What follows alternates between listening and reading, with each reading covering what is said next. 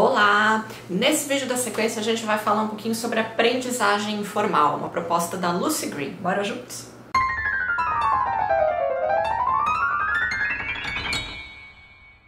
Então, nesse vídeo da sequência, a gente vai falar um pouquinho sobre aprendizagem informal, né, que é uma proposta de educação musical de uma, de uma educadora inglesa, da Lucy Green. É, essa proposta de, de educação musical a gente vai discutir, na verdade, ela tomando como base aqui para o nosso vídeo, para a nossa discussão, dois textos que são um texto de própria, da, da, própria autoria da, da Lucy Green, né, que se chama Poderão os professores aprender com os músicos populares? Uma pergunta, né? É, e a gente também vai discutir um segundo texto, na verdade, que é um texto aqui já é, produzido pela Cristina Grossi, que é uma professora brasileira, né, que vai estar tá pensando um pouquinho a, a, a, digamos assim, a aplicação dessas ideias da Lucy Green aqui no, no nosso país, né. O texto dela se chama Aprendizagem Informal da Música Popular na Sala de Aula, relato de um projeto piloto realizado com jovens de uma escola pública de ensino médio. Eu vou começar essa nossa discussão da sequência pelo texto 1, que é o texto da Lucy Green, que eu acredito que é um texto que vai, né, até por, pelo fato da gente estar tá lendo a própria autora, né, um texto que vai fazer mais uma introdução desse assunto que a gente vai abordar, e depois eu passo para o texto da Cristina Grossi, porque ele vai fazer uma síntese de tudo isso que a gente vai discutir aqui no, no texto da Lucy Green. Então, bora junto? Eu vou indo na sequência, é, tomando alguns, alguns pedaços desse texto para a gente fazer a leitura e para a gente ir comentando essa, essa leitura. Vou começar no texto da Lucy Green, já logo na primeira página dele, que é a página 65. Né? Esse, esse, essa página ela tem o título, um resumo em letras pequenininhas logo embaixo, e daí já tem um, um, um subtítulo ali, né? Educação musical formal e práticas da aprendizagem informal da música. Bora discutir esse, esse parágrafozinho que começa logo na sequência desse texto. Ele diz assim: Muitas sociedades desenvolveram sistemas complexos de educação musical formal, tendo em comum um ou mais dos seguintes aspectos. Então, o que, que é comum à educação musical formal? É isso daqui que vai vir na sequência é, currícula escritos, né, curricular, aqui é o, é o plural de currículo, né, é, então currícula, escritos, é, planos de estudo ou tradições explícitas de ensino e aprendizagem, né, tudo isso aqui que a gente está falando, é, a gente quer dizer em outras palavras, né, que existe um ensino sistematizado, um ensino planejado de forma sistemática, né, esses currículos, esses planos de estudo, todo esse planejamento redigido assim de forma muito, muito sistemática mesmo, né, muito organizada, estruturada. É, outra coisa que é característica também da, da educação musical formal, é ter professores reconhecidos e pagos, coordenadores ou mestres, que na maioria dos casos possuem qualificações relevantes, ou seja, é ter pessoas a quem a gente vai chamar de professores, né? E para além disso, são pessoas que estão é, executando aquela função profissionalmente, né? São pessoas que estão sendo remuneradas para fazerem aquela função, né? É, e quando a gente pensa aqui em professores, a gente também tá, tá às vezes reduzindo um pouco aí o tipo de profissional que está envolvido na educação formal. A gente também precisa envolver, é, precisa entender que ela envolve, né, aquilo que a autora está chamando como coordenadores, mestres, enfim, todas essas pessoas que fazem parte da equipe pedagógica, né. Então, educação formal, trocando em miúdos aqui, é esse sistema de educação que possui profissionais com capacitação, profissionais que são remunerados para desempenharem aquela função especificamente.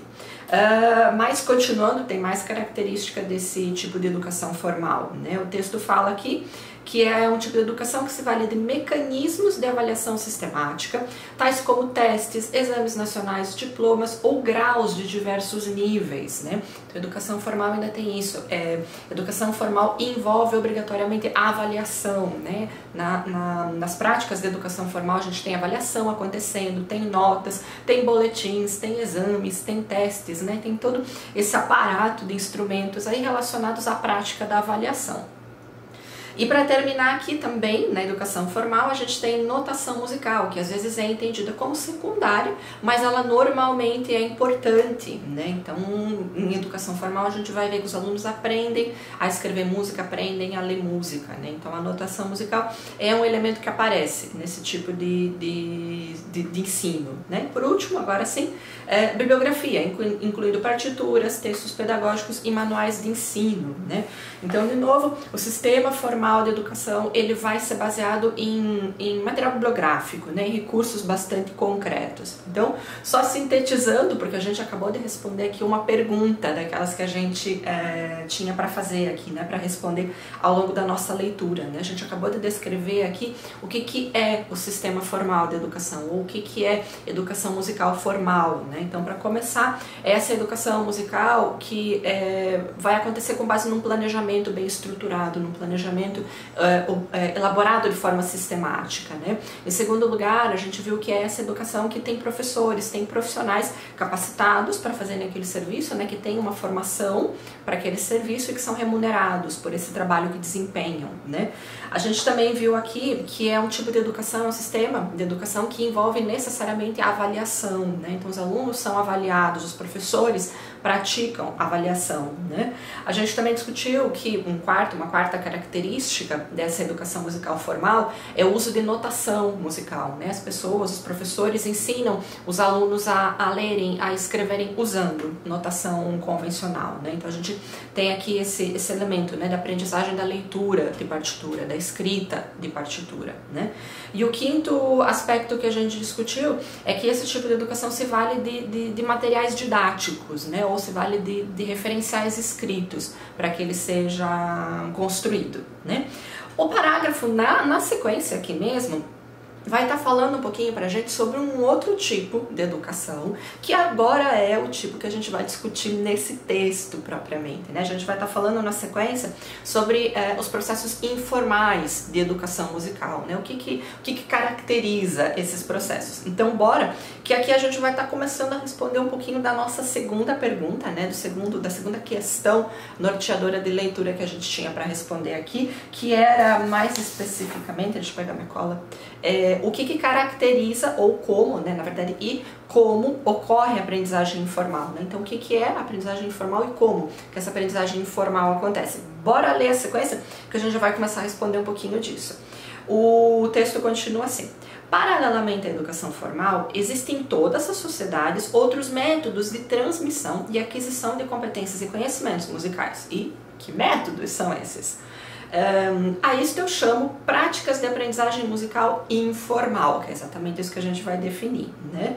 Uh, as quais, no extremo e em contraste com a educação formal, não ocorrem, não recorrem, na verdade, a instituições de ensino, nem a currículo escrito, nem a programas e metodologias específicas, nem a professores qualificados, nem a mecanismos de avaliação ou certificados, diplomas e pouca ou mesmo nenhuma anotação ou bibliografia, né? Então, a gente pode dizer assim, sintetizando de forma muito, muito grosseira né, o que, que é a educação informal, o que, que é a, a, a aprendizagem, o ensino e aprendizagem de música informal, é tudo o oposto daquilo que a gente acabou de definir. Né?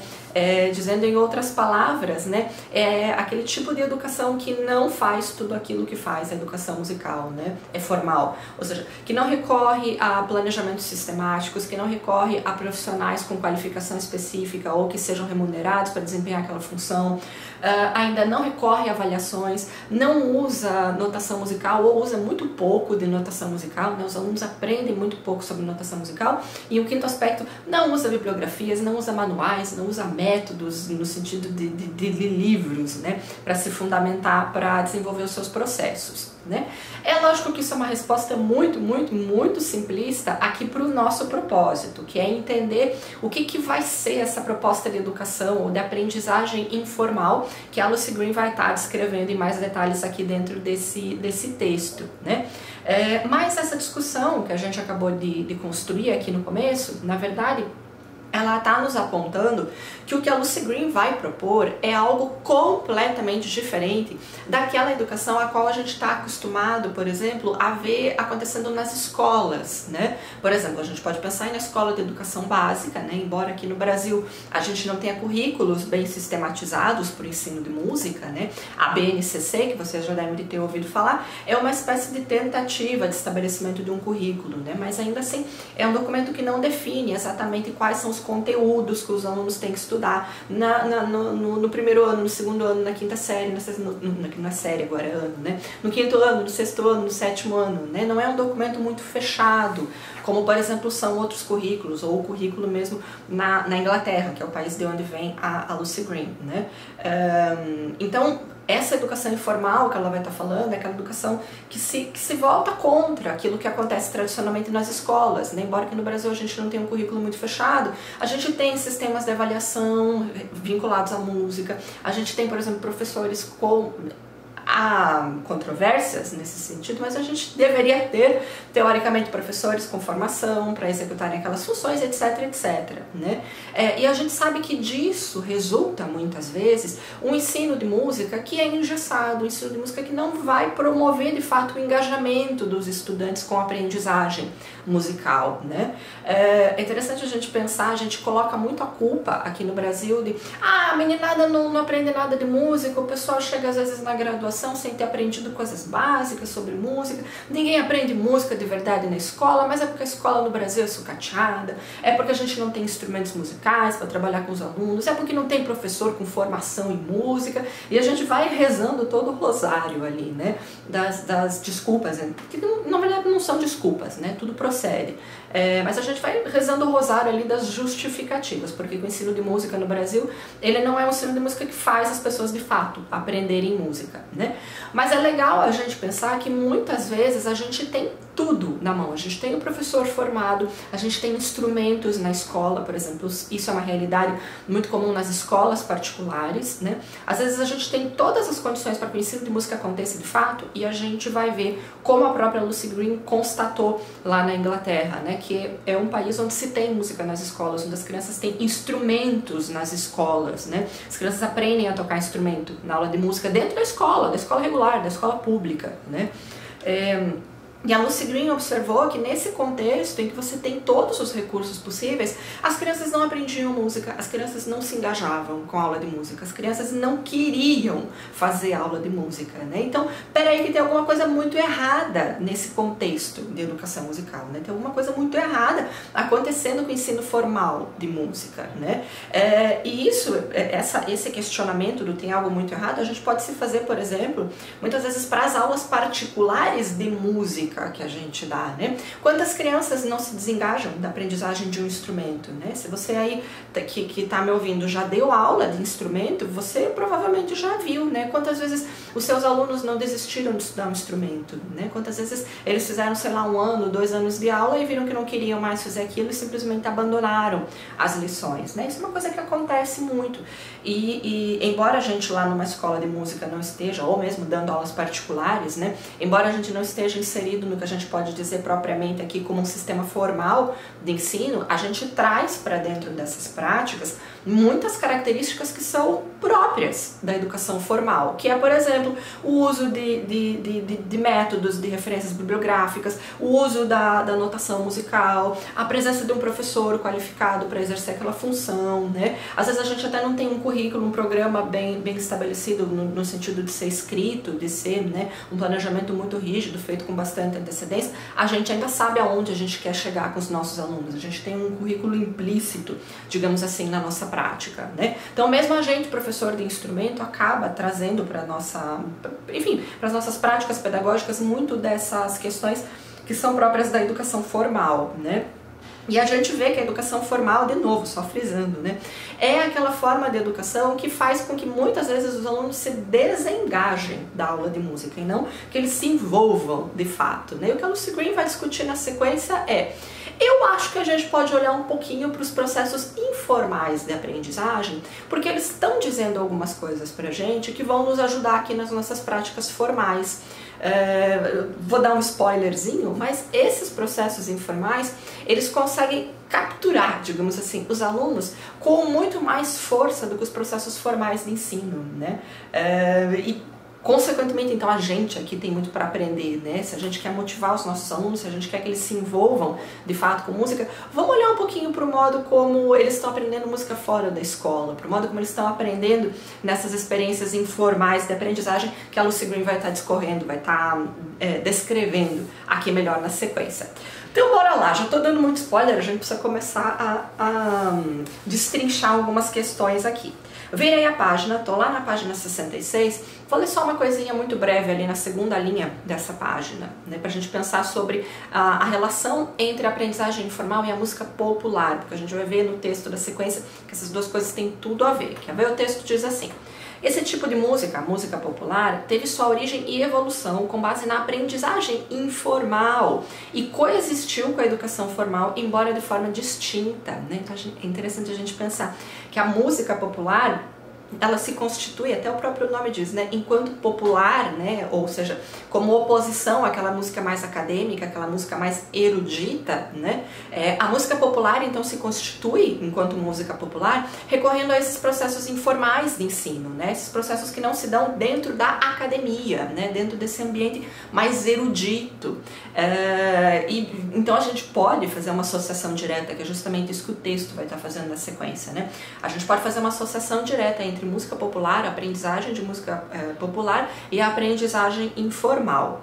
É, bora discutir essa, essa questão aqui no final do, do segundo parágrafo, né? A gente vai estar de novo falando sobre essa relação entre música popular e aprendizagem informal. Quero pegar com vocês, uh, bem no meio desse segundo parágrafo, tem uma frase que começa com é importante incluir. Achou ela aí? Vou, vou ler, na sequência. É importante incluir a música popular nos currícula e trazer para a sala de aula, né? Isso é uma preocupação que a gente tem, que a Lucy Green tem não só lá na Inglaterra, mas que a gente também tem aqui no Brasil, né? É, assim que a gente terminar a nossa discussão aqui na disciplina sobre aprendizagem informal, a gente vai discutir sobre, vai começar a falar sobre diversidade cultural, né? E nessas discussões sobre diversidade cultural, a gente vai falar muito sobre a importância de trazer para dentro da aula não só aquela música erudita, não só aquela música é, é, que é tradicionalmente entendida como música de qualidade, entre aspas, né? Mas é importante a gente trazer todas as formas de música para dentro da sala de aula, sem, sem preconceito, sem discriminação. E a música popular se enquadra aqui nisso que a gente está dizendo, né? Então é importante incluir a música popular nos currículos e trazê-la para a sala de aula, mas não podemos esquecer as suas práticas de aprendizagem e os correspondentes valores e atitudes. O que, que ela quer dizer com isso, né? Uma tal atitude, né? Ou seja, é trazer só a música popular, mas continuar ensinando música popular do mesmo modo como a gente ensina música erudita, por exemplo, né? É, uma tal atitude faria com que a música popular praticada na sala de aula fosse apenas uma versão acadêmica peculiar, despida dos mesmos métodos que a criaram e como tal pouco parecida com a verdadeira música popular. E é interessante a gente pensar isso, né? Quantos professores, ou até mesmo vocês aí, pensem sobre as práticas de vocês, né? É, quantas vezes vocês ensinam música popular para os seus alunos, né? Uh, pensa aí na quantidade de vezes em que vocês abordaram esse tipo de repertório, como que esse repertório foi abordado. Garanto que você trabalhou de forma muito parecida com a que você trabalharia qualquer outro repertório, com a que você ensinaria música erudita, por exemplo, né? Ou seja, como é que é? é mostrando a partitura para o aluno, falando, ó, vamos fazer a leitura rítmica, vamos fazer a leitura melódica, puxa lá teu instrumento, bora, vamos fazer isso aqui, olha a técnica, olha a mão que tá errada, olha o não sei isso é o modo como a gente ensina música clássica, música erudita. E esse é o modo como muitas vezes a gente ensina música popular.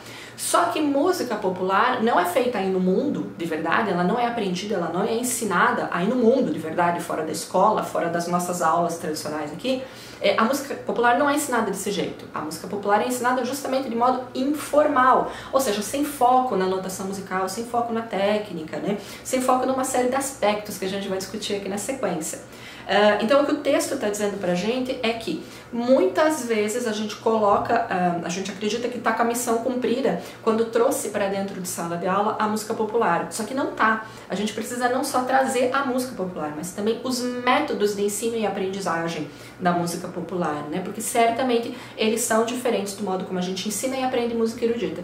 E se a gente não trouxer eles também, lá vai estar tá a gente fazendo isso que o texto diz aqui, né? Vai estar tá fazendo uma paródia do modo como se ensina música popular, né? Vai estar tá fazendo uma versão acadêmica peculiar ali do modo como as pessoas aprendem música popular na vida real, né?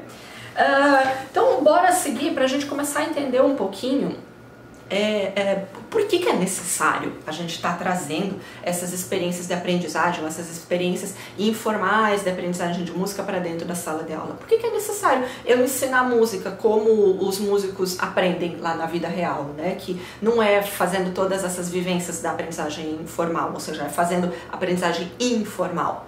Em outras palavras, por que, que é importante eu trazer para dentro da minha aula aprendizagem informal de música? Uh, bora discutir um pouquinho isso? Página 67, eu vou ler no segundo parágrafo, aquele parágrafo que começa nos últimos anos. Achou? Bora junto. Nos últimos anos, mais de 94% das vendas de discos em todo o mundo são de música popular em geral, e apenas 3,5% são de música clássica e 1,5% de música jazz. Uh, atendendo a que a música popular é exatamente isso, popular, né, e que sua origem e desenvolvimento acontece fora de qualquer sistema formal de ensino, julgo que os educadores musicais, ou que os educadores, poderiam dar mais atenção a esse tipo de música e daí tirar algum benefício para si e para seus alunos analisando com mais profundidade, valorizando as aprendizagens daí decorrentes e as atitudes e valores do que, é, dos, que ela, dos que a ela se, de, se dedicam, né? as atitudes e os valores das pessoas que, que, se, que se dedicam à aprendizagem informal. Né? Então a Lucy Green acredita que, é, já que a música popular é justamente isso popular, né? é aquela que mais vende é, no, no, no mundo inteiro, né? aquela que mais vende CDs, tem alguma coisa aí que talvez interesse mais as pessoas, né, que motive mais as pessoas na música popular do que naquelas outras músicas que não são tão vendidas quanto, né? Então acho que a gente, educador musical, pode dar uma olhadinha com mais cuidado aí para essa música que é tão popular, porque provavelmente a gente tem alguma coisa a aprender com ela, né? A gente tem no mínimo o que aprender aí para entender por que, que ela é tão popular e aquela música que a gente ensina, ou aquele modo como a gente ensina, não é tão popular assim, né? Bora ver a, a sequência. Né? Se continuarmos a ignorar esse gênero de práticas, as práticas é, é, populares, as práticas informais, né? esse gênero então de práticas, atitudes e valores, se a gente ignorar eles, corremos o risco de afastar a educação musical daquele brilho e entusiasmo que diariamente atrai tantos músicos e ouvintes para a música popular. Né? Olha que legal isso. Muitas pessoas ouvem música popular no dia a dia, né? Elas se atraem, elas sentem gosto por esse tipo de escuta, né? E se a gente ignorar esse tipo de repertório, se a gente ignorar esse tipo de vivência, a gente provavelmente vai estar privando nossos alunos de gostarem de música, né? De, de como ela coloca aqui, né? De viverem aquele brilho e aquele entusiasmo que eles vivem, por exemplo, escutando música popular, né? Então acho que a gente pode trazer isso para as nossas práticas, né? Para a gente fisgar os nossos alunos, para a gente motivar eles a aprenderem música, né? Uh, continuando, por outro lado, um maior conhecimento e talvez uma certa adaptação às formas de aprendizagem musical informal dentro dos sistemas formais da educação, talvez isso, né, essa adaptação, possa fazer com que mais jovens possam se beneficiar de uma educação musical, né, justamente isso, uma educação musical que contemple esse gosto da juventude pela música, pela escuta da música, né? É uma educação musical que pode mais aproximar esses jovens da aula de música, ao invés de afastar, que é uma coisa que acontece muitas vezes, né? Quantas pessoas começam a estudar um instrumento e não, e não prosseguem? Quantas pessoas começam a estudar música e não dão continuidade para os seus estudos? Provavelmente é porque em algum momento dessa aprendizagem eles perderam o brilho, o entusiasmo, que quando a gente é iniciante em qualquer atividade, geralmente a gente tem, e a gente tem muito forte, né? Uh, então acho que a gente pode sim pegar um pouquinho aqui para as nossas práticas disso que a gente vai estar discutindo hoje sobre aprendizagem informal, porque é, essa aprendizagem informal, a música popular em si, tem muito para ensinar para a gente, né? no sentido de serem práticas, de serem é, formas de fazer música que entusiasmam os nossos alunos, né? que, que, que é, encorajam eles a se envolverem com a música. E a gente, enquanto professor, só quer isso, a gente só quer alunos que se encorajem a meter a mão na massa e a fazer música e aprender música. Né?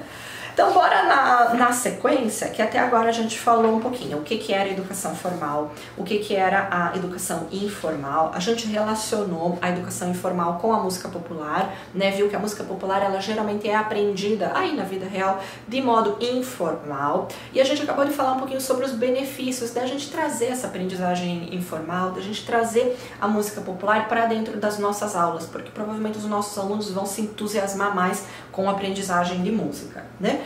Ah, mas repare que a gente ainda não definiu muito bem, então, o que, que é essa educação informal, né? Ou o que, que eu tenho que fazer, eu aqui professor, o que, que eu tenho que fazer para eu dizer que eu estou botando a mão na massa e que eu estou fazendo agora é, educação informal? Ou, na verdade, né, a gente professor nunca vai começar a fazer educação informal, mas o que a gente pode fazer é se valer de, de princípios da educação informal dentro das nossas práticas, que vão ser sempre práticas formais de ensino. Né? É, quais são esses princípios aí? O que, que a gente pode pegar de lá do, do, dos músicos populares? Né? Ou então, como diz o, o título do, do artigo que a gente tem aqui hoje, né? poderão os, os professores aprender com os músicos populares? Parece que sim, mas o que será que a gente aqui pode aprender com os músicos populares? Bora na sequência que a gente vai começar a responder um pouquinho disso, tá? Vou lá na página 70 junto com vocês. Ali tem o primeiro título grandão, é pequenininho, na verdade, lá em cima chamado Enculturação. Depois tem um maiorzinho ali mais pro final da página escrito. A técnica de aprendizagem mais importante, Tata Tita achou, né? Beleza, vamos fazer assim, vamos ler aquele primeiro parágrafo, aquele que começa com de longe. Bora aqui junto comigo, tô na página 70.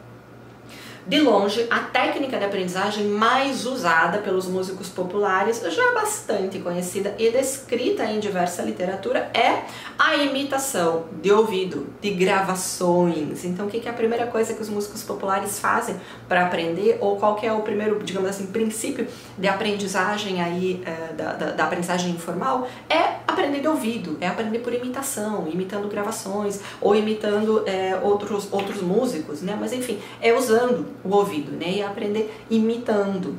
É, isso daqui é uma coisa bastante importante da gente pensar, é, da gente contemplar nas nossas práticas, né? Porque a gente aprende uma série de coisas na nossa vida imitando, né? A gente aprende a falar imitando, a gente aprende a andar imitando, a gente aprende uma série, uma série, uma série muito grande de coisas no nosso dia a dia, coisas práticas assim que a gente precisa para viver, a gente aprende por meio da imitação, né? A, a, a imitação é uma forma de aprendizagem válida, é uma forma de aprendizagem largamente utilizada utilizado por todas as pessoas em vários momentos da sua vida, né? E a gente professor de música contempla muito pouco, para não dizer, né, a gente professor de música mais tradicional, para não dizer que nunca, a gente contempla muito pouco a imitação nas nossas práticas, né? É, no máximo o que a gente faz é os alunos imitarem a nossa a nossa postura de técnica ali, ó, no violino bota a mão assim, né? No, na flauta segura desse jeito, faz faz assim, faz assado com o dedo, né? Isso é o máximo que a gente coloca os nossos alunos para imitarem, né? A gente dificilmente coloca coloca um aluno nosso para imitar aquilo que a gente toca. A gente dificilmente se coloca como modelo musical e, e toca uma música, toca um repertório para ele e fala, vai lá agora, imita. Né? O que, que a gente faz? A gente bota uma partitura na frente dele e fala, vai lá, por conta própria agora você lê. Né? Esse é o modo como tradicionalmente a gente ensina. E esse não é o modo como os músicos populares aprendem. Né? Eles aprendem do ouvido, eles aprendem ouvindo a gravação, eles aprendem fazendo aquilo que vocês fizeram, que eu, dizer, eu quero acreditar que vocês fizeram quando vocês gravaram gravaram os vídeos aqui no começo da nossa, da, da, das nossas vivências relacionadas à aprendizagem informal, né? Eu passei para vocês um repertório, passei um arranjo, falei, bora, quero que vocês toquem isso. Não vou dar partitura, o máximo que vou dar uma cifra para vocês, a letra da música, e vocês vão tocar isso daí, né? Ou seja, eu não tô dando a partitura para vocês lerem, eu tô dando uma referência auditiva para vocês imitarem essa referência auditiva, né? E olha que bacana, a gente vive batendo nessa tecla, né? Que os nossos alunos têm que desenvolver o ouvido, imagine, é, músico que não tem ouvido desenvolvido é a mesma coisa com pintor que não tem olho, né? Não dá pra gente acreditar que o músico vai ser bom se ele não tem uma boa percepção auditiva, né? A gente bate muito nessa tecla. Mas o que, que a gente faz, de fato, para desenvolver o ouvido dos nossos alunos? A gente desenvolve muitas vezes só o olho deles, né? Botando-lhe a partitura lá na frente e vai aí, meu filho, lê esse troço, né? Esse é o modo como a gente tradicionalmente ensina a música. E é o que a gente estava dizendo, é um modo que mais afasta os alunos da educação musical do que aproxima eles, porque quando você lê uma partitura, você não está entrando em contato com música. Isso a gente já discutiu lá na nossa discussão de Suanic, né? Quando você lê, você não está tendo envolvimento direto com a música. Já quando você ouve uma gravação e você precisa imitar aquela gravação, você está sendo jogado ali no, no, no, meio da coisa em si, né? Você está se melando de tanta música, né? Porque você está, de fato, se envolvendo com aquele, com, com a música de fato, né, em toda a sua complexidade. Então, primeira coisa aí que você tem que fazer, se você quer fazer, é, é, que, você, que você quer adotar princípios de aprendizagem informal nas suas aulas, é partir da aprendizagem de ouvido, né, a partir da aprendizagem por imitação. Vou mudar de página porque a gente vai, valer, vai ver um outro, um outro princípio, um outro segundo princípio aqui que é legal também a gente discutir porque ele ajuda a descrever aí o que, que é a aprendizagem informal. Bora junto, página 71, eu vou no... tem uma citação no começo dessa página, logo ali o primeiro parágrafo alinhado é aquele que começa com para seis dos músicos, achou? Aqui a Lucy Green está descrevendo algumas, alguns resultados de entrevistas que ela fez com músicos populares e ela foi perguntar para esses músicos populares como é que eles aprenderam a tocar música, né? É para ela tentar entender justamente como são essas um, é, vivências de aprendizagem informal de música. Aí a Lucy Green fala assim, ó, para seis dos músicos entrevistados, a notação era considerada uma ferramenta útil, mas sempre como um apoio secundário à audição e imitação. Então, olha que legal. Não é que esses músicos, os músicos populares, não é que eles não usem notação musical, não é que eles joguem fora a notação musical, mas ela é um apoio secundário, né? Ela não é o foco. O músico não está é, é, preocupado em aprender a música por meio da leitura da partitura ou da leitura, seja lá do que for, né? O músico precisa aprender a música ouvindo né? Então, é, a anotação existe, mas ela é secundária, né? E isso é uma das outras características aqui da aprendizagem informal, né? Uh, só descrevendo um pouquinho mais isso, né? Uh, logo na sequência ali tem uma outra citação do Bernie, falando, que é um dos entrevistados da Lucy Green, e o parágrafo da sequência é o que eu quero ler só o comecinho com vocês, né? Ele diz assim... Contudo, a notação nunca era usada por si própria, ou seja, como um meio principal de aprender música, e se ela era usada cedo, ela era abandonada também. Então, olha que interessante, era aquilo que a gente discutia, né? A, a notação ela tem uma função só secundária e ela nunca é usada sozinha. O músico nunca aprende a música única e exclusivamente olhando para a partitura, né? Ele aprende a música ouvindo ela, né? Se ele precisa de suporte, ele talvez para entender alguma coisa que o ouvido dele não está pegando muito bem, aí ele olha o material. Ou se ele precisa de um recurso para lembrar aquelas coisas que ele está ouvindo na gravação, ele olha para a partitura, né? Mas assim que ele consegue tocar música, ele abandona e ele toca de ouvido, né? Isso que os músicos populares fazem, né? O músico popular dificilmente toca com uma partitura na frente, assim como a gente aqui, o músico erudito geralmente costuma fazer, né? Uh, então, uma segunda coisa muito característica aqui da aprendizagem informal é justamente essa questão do uso secundário da notação musical, né? Ela não é, não é que ela não seja usada, mas ela é usada só como um suporte para o principal mesmo, que é a aprendizagem por imitação, que é a aprendizagem de ouvido. Eu vou pular mais um pouquinho aqui para a gente discutir uma outra coisa que também é muito característica da aprendizagem informal. Tô lá na página 73, tem um título ali escrito Tocar com colegas. Vamos ler o comecinho desse parágrafo? Copiar a partir de discos é quase sempre uma atividade solitária, né? Então esse negócio de, de, de, imitar a gravação, de aprender de ouvido, é uma atividade solitária. É você, músico ali, com a, com a gravação, né? Uh, mas a solidão não é uma marca característica do, do músico pop aprendiz, ou seja, um, alguém que está aprendendo música popular não é alguém que vai trabalhar de forma solitária, assim como é muitas vezes o aprendiz de, de música erudita, né? Uh, muita gente tem essa, essa ideia, né? Muitos professores às vezes têm essa ideia, né? Eu só posso colocar meus alunos para tocarem em conjunto a hora que eles estiverem tocando bem, né? Porque senão o que, que eles vão fazer lá no conjunto, né? Como é que eles vão tocar junto com outras pessoas, às vezes mais experientes do que eles, né? É, isso às vezes é um tipo de discurso que a gente ouve muito na, na música erudita, né? Que primeiro o aluno precisa aprender a tocar, para depois ele começar a querer se, se, se, meter a tocar junto com outras pessoas, né? E na música popular, não, né? É, a gente vai discutir aqui na sequência que música popular, embora ela possa parecer, né, a aprendizagem de, de ouvido, de, de imitação, possa parecer uma aprendizagem muito solitária, a gente vai ver que muito cedo os músicos já procuram outros pares para fazer música em conjunto, antes mesmo deles saberem tocar muito bem. Quer ver o que diz o texto na sequência? É, as atividades em grupo ou de grupo são muito importantes desde o início de qualquer banda, por exemplo, dentro de uma banda a gente tem justamente esses processos de aprendizagem informal acontecendo. E quando eu falo em banda aqui, eu não estou pensando em banda marcial, né, aquela banda onde os meninos tocam trompete, né, não, que as meninas marcham, não estou falando nisso, tá bom? Se a gente fala em banda, é banda mesmo, é banda de garagem, aquela banda de rock que provavelmente você já teve uma aí na sua adolescência ou você até mesmo ainda tem uma, né? Estou uh, falando desse tipo de, de, de, de prática. Né? Então, as atividades de grupo são muito importantes desde o início de qualquer banda, né? mesmo que os seus elementos toquem ainda pouco e não percebam nada de encadeamento de acordes, de passagens ou de canções.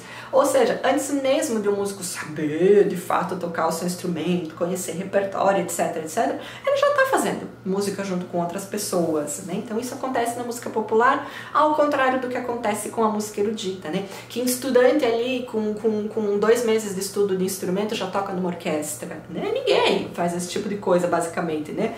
Raras exceções, mas dificilmente as pessoas fazem esse tipo de coisa na música erudita, né? Você, às vezes, até tem uma orquestra, até tem um grupo maior, mas o que, que você faz? Você isola os alunos, né? Você pega os iniciantes e vai trabalhar com eles à parte, em outro momento, né? Porque aí ali você resolve todos os problemas. Ah, a hora que eles estiverem bons, eles voltam pro grupo para tocar, né? Não é isso o que acontece na música popular, né? Na música popular, desde o começo, a meninada tá lá se metendo a tocar com colegas, né? É, então, só continuando, né? Um, todos, à exceção de dois, de dois dos entrevistados aqui da Lucy Green, né, tinham começado as suas bandas com os colegas apenas alguns meses após terem começado a tocar os seus instrumentos, né? Então isso é uma, uma coisa muito legal, né? Uh, as pessoas se juntam para fazer música no mundo da, da música popular, né? Mesmo que elas não saibam muito.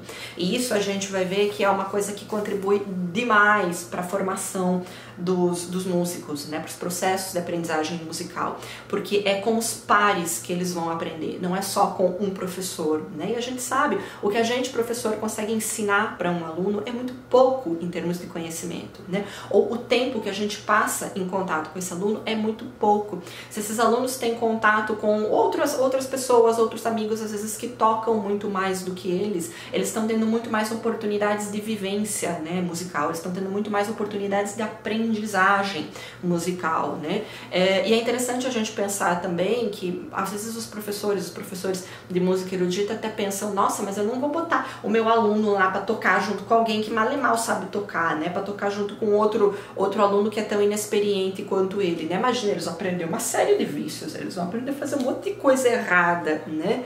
É, é interessante a gente pensar, é, é, rever um pouco esse tipo de posicionamento, porque, por exemplo, a psicologia, vocês já estudaram Vygotsky, aí eu sei, né?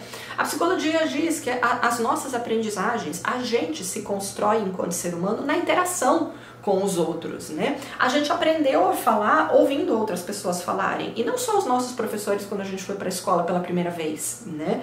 E a gente aprendeu ouvindo falar, ouvindo muita gente falar errado, ouvindo muita gente falar com, com sei lá, com, com sotaques, com pronúncias diferentes, com erros de gramática, etc, etc. E isso não quer dizer necessariamente que a gente ficou com aqueles mesmos erros de gramática que a gente ouviu as pessoas usando, ou enfim, né? A gente, a gente se constrói nas nossas vivências, né?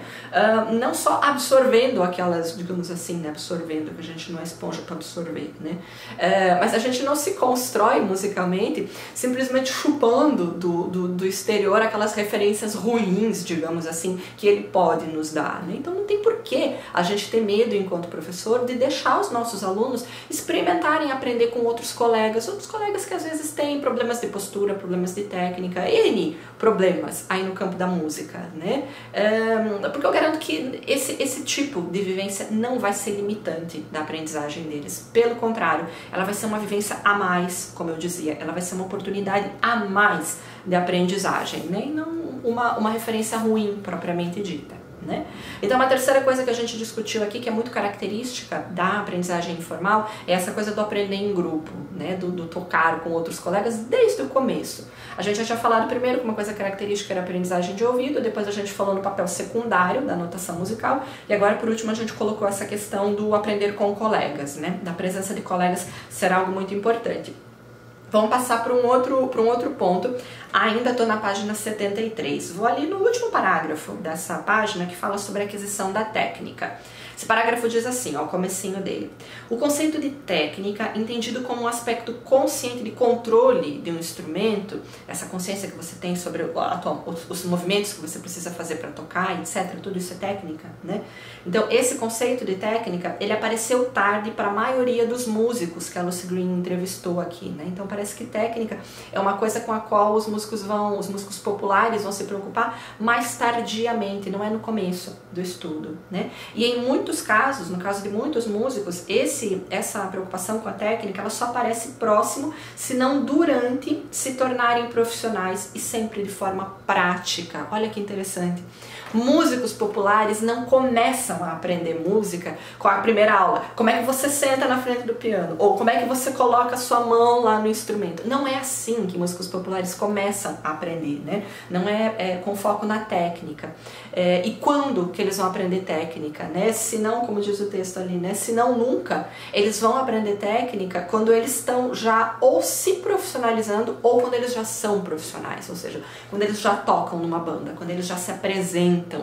Então a técnica vem justamente como técnica, né? Como um meio de eu fazer algo, né? Para aprimorar alguma prática que eu já tenho, né? Uh, isso a gente precisa entender que é algo completamente diferente do que a gente faz nos processos formais de ensino, né? Como eu dizia, uh, como que você começa tradicionalmente a aprendizagem de um instrumento? É aprendendo a se sentar, é aprendendo a pegar, é aprendendo a usar o arco lá nos instrumentos de, de, de, de, de arco, é aprendendo a respirar lá nos instrumentos de sopro, etc, etc. Ou seja, é se preocupando muito mais com a técnica do que com a música propriamente dita, né?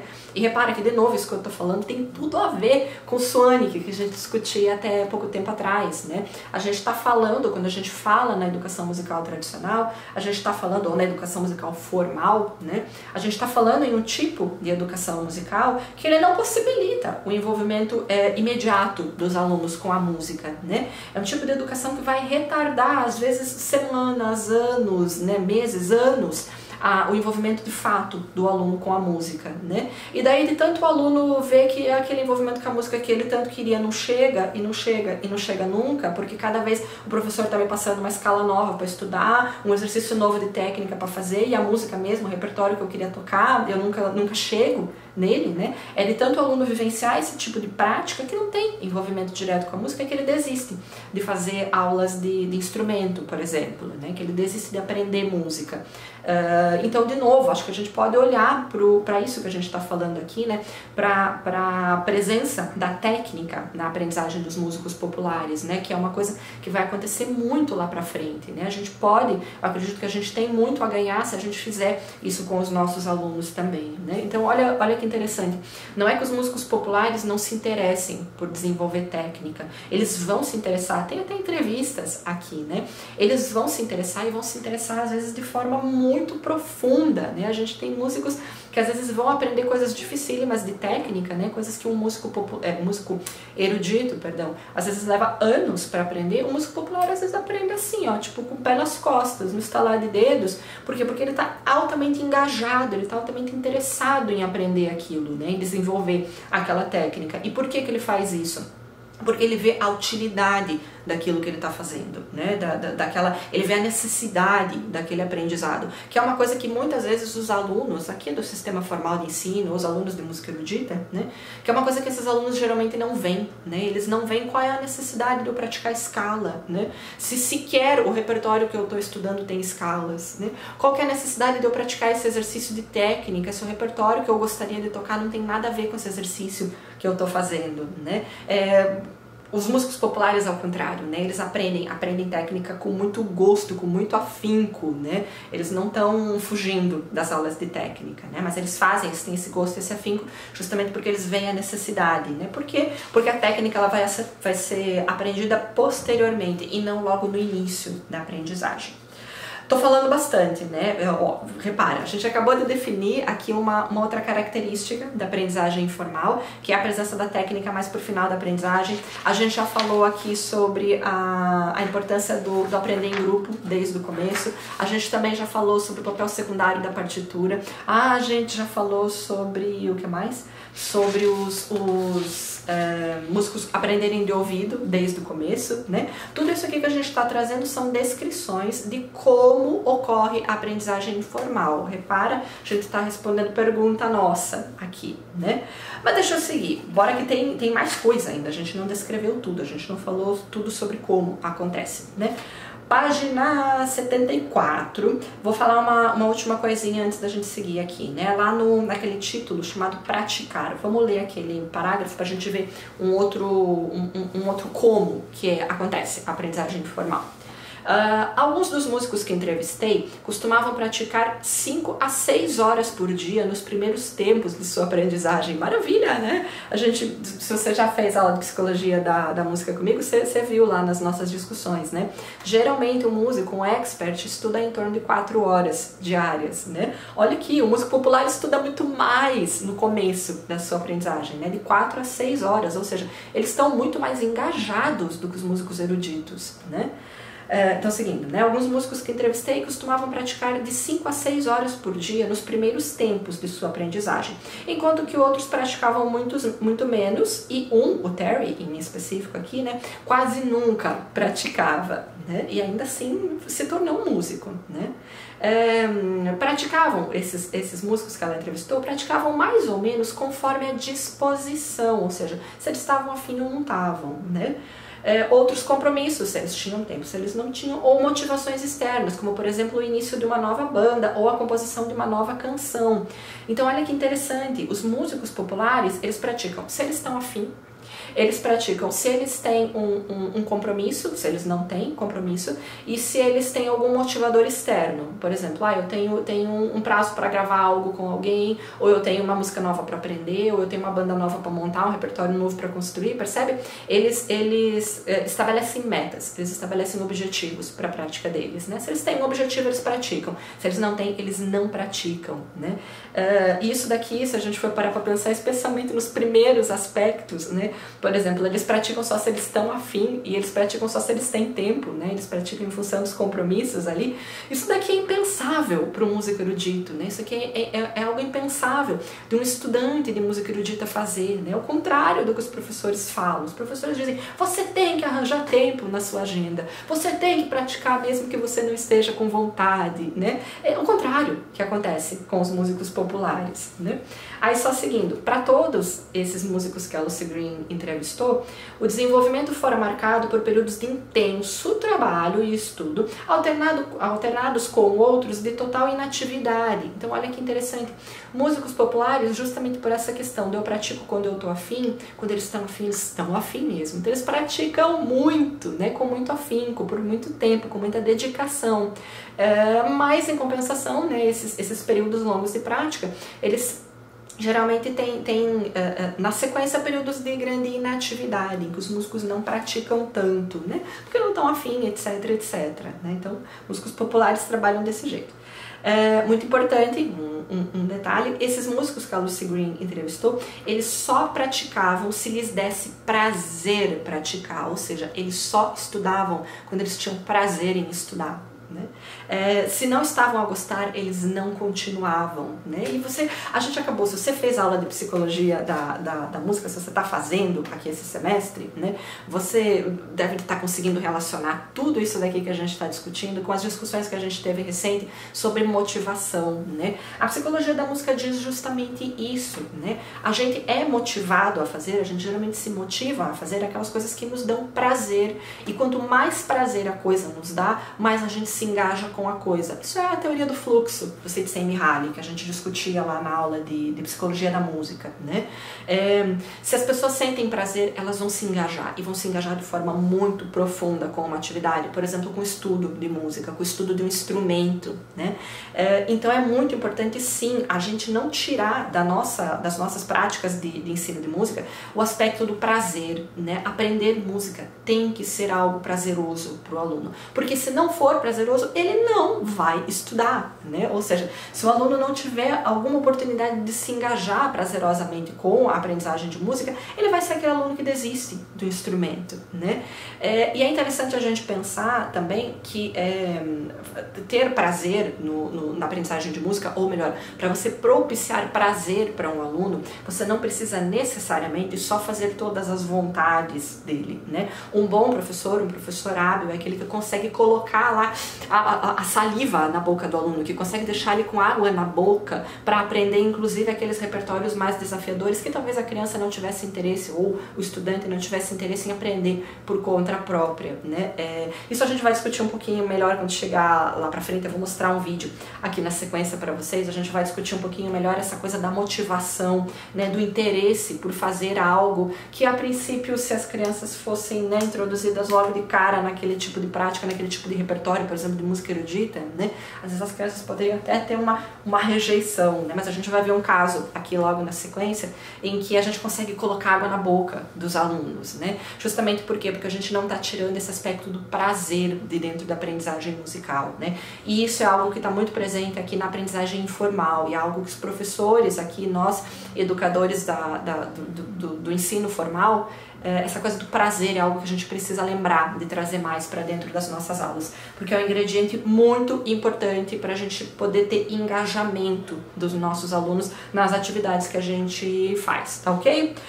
Então até aqui a gente fez uma discussão zona sobre como que eu coloco em prática é, a, esse, esses aspectos da aprendizagem informal, né? Como que os músicos aprendem, os músicos populares aprendem, eles aprendem de modo informal, e o que, que é essa educação informal a gente discutiu aqui. E a gente falou então também por tabela, digamos assim, a gente acabou de falar algumas coisas que a gente aqui, professor, né, músico é, é, formado numa tradição mais formal de ensino, né? A gente falou sobre aspectos que a gente também pode trazer para dentro das nossas práticas musicais.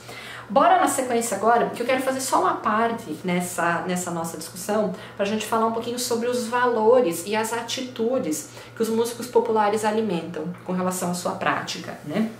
Essa discussão vai ajudar a gente, talvez não propriamente a responder a nossa pergunta número 2, mas vai ajudar a gente muito a, a entender por que, que é tão importante eu trazer a aprendizagem informal para dentro das minhas aulas, ou esses princípios da aprendizagem informal para dentro das minhas aulas, né? Não sei se eu te convenci ainda que você só tem a ganhar se você fizer com isso. Então bora aqui comigo na sequência que agora eu te convenço, tá bom? Vamos ver quais que são as atitudes e os valores que os músicos populares desenvolvem graças a esses processos informais de, de aprendizagem, aqueles estão, é, é, em que eles se inserem ali.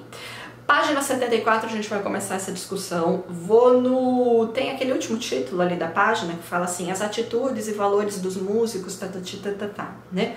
Vou começar a ler ali no primeiro parágrafo, já aquele que perguntei a todos. Achou? Bora junto. Perguntei a todos os, os entrevistados o que é que eles valorizavam mais em outros músicos. Não foi novidade concluir que todos valorizavam especialmente o feeling, a sensibilidade, o espírito espírito e outros atributos semelhantes acima da competência técnica. Né? Muito legal a gente pensar isso. É, é, a gente, às vezes, músico erudito, né, tem muito essa, essa mania de olhar para o intérprete e a primeira coisa que a gente repara é: nossa, que técnica perfeita! Como que esse cara consegue fazer isso? Olha a mão dele, olha, olha o que ele faz. Repara, né? A gente repara nesse tipo de, de, de coisa, geralmente, né? É, mas os músicos populares não. O que eles reconhecem como mais valioso em um músico é essa coisa do feeling, da sensibilidade, né? da, da expressividade na interpretação do repertório e não propriamente a técnica. E isso é uma coisa que geralmente falta muito para os nossos alunos que estão que aprendem repertório erudito ou que aprendem de modo formal, né? Muitas vezes o foco é colocado tão grande na técnica que as pessoas não sabem fazer música, né? As pessoas só conseguem tocar notas, as pessoas não conseguem fazer aquela coisa que a gente discutia quando falava sobre Suanic, né? As pessoas não conseguem comunicar algo para uma plateia, as pessoas não conseguem tocar a plateia, né? Por quê? Porque elas só estão tocando notas, né? Elas não estão comunicando, não estão expressando é, é, é, um sentimento, uma ideia, né? Elas não estão é, é, fazendo uma comunicação propriamente com aquilo que elas fazem, porque o foco está simplesmente no como é que eu uso a minha mão, o, qual é a posição que o meu dedo tem que fazer, ou o meu corpo, a minha respiração, etc, etc, né? É, então, viu uma coisa bacana? Se a gente trouxer para dentro das nossas práticas o modo como os músicos populares aprendem música, muito provavelmente a gente vai estar desenvolvendo também nos nossos alunos esses valores, por exemplo, né? Essa coisa do valorizar mais o feeling, mais a expressividade da música do que a técnica, que é algo que, não sei se você concorda comigo, provavelmente você concorda, né? Isso é algo que faz total diferença numa interpretação, né? Bons músicos são aqueles que a gente consegue ouvir, consegue se sentir tocado, a gente consegue realmente ter uma prestação estética ouvindo eles tocarem, né? Mas tem mais coisa, viu? Tem mais, tem mais vantagem. Bora aqui comigo, página 75. Vamos discutir outro valor que é, os músicos populares geralmente desenvolvem muito. Lá no final da página 75 está escrito assim: amizade e colaboração. Eu vou ler, um, vou, vou, ler do começo desse compasso, desse compasso, Luca, desse parágrafo com vocês. O parágrafo começa com mais inesperadamente. Achou aí? Bora lá. Mais inesperadamente, a mesma pergunta sobre o que valorizavam mais noutros músicos, muitos dos entrevistados aqui da Lucy Green disseram que valorizavam a amizade, a tolerância e a comunhão dos mesmos gostos, ou seja, o que, que eles queriam dizer com isso? Eles valorizavam ser boa pessoa, ser capaz de se integrar no grupo, ser capaz de ir de autocarro, o texto está em português de Portugal, tá? Ser capaz de ir de carro em digressão, né? Ou seja, em, em fazendo uma conversa, né? Ou então ir de avião semana após semana e não dar cabo da paciência aos outros, né? Ou seja, não encher o saco dos outros e brigar com os outros, né? Ou ter pensamentos destrutivos, do tipo, essa banda tem que acabar, essa é uma merda mesmo, né?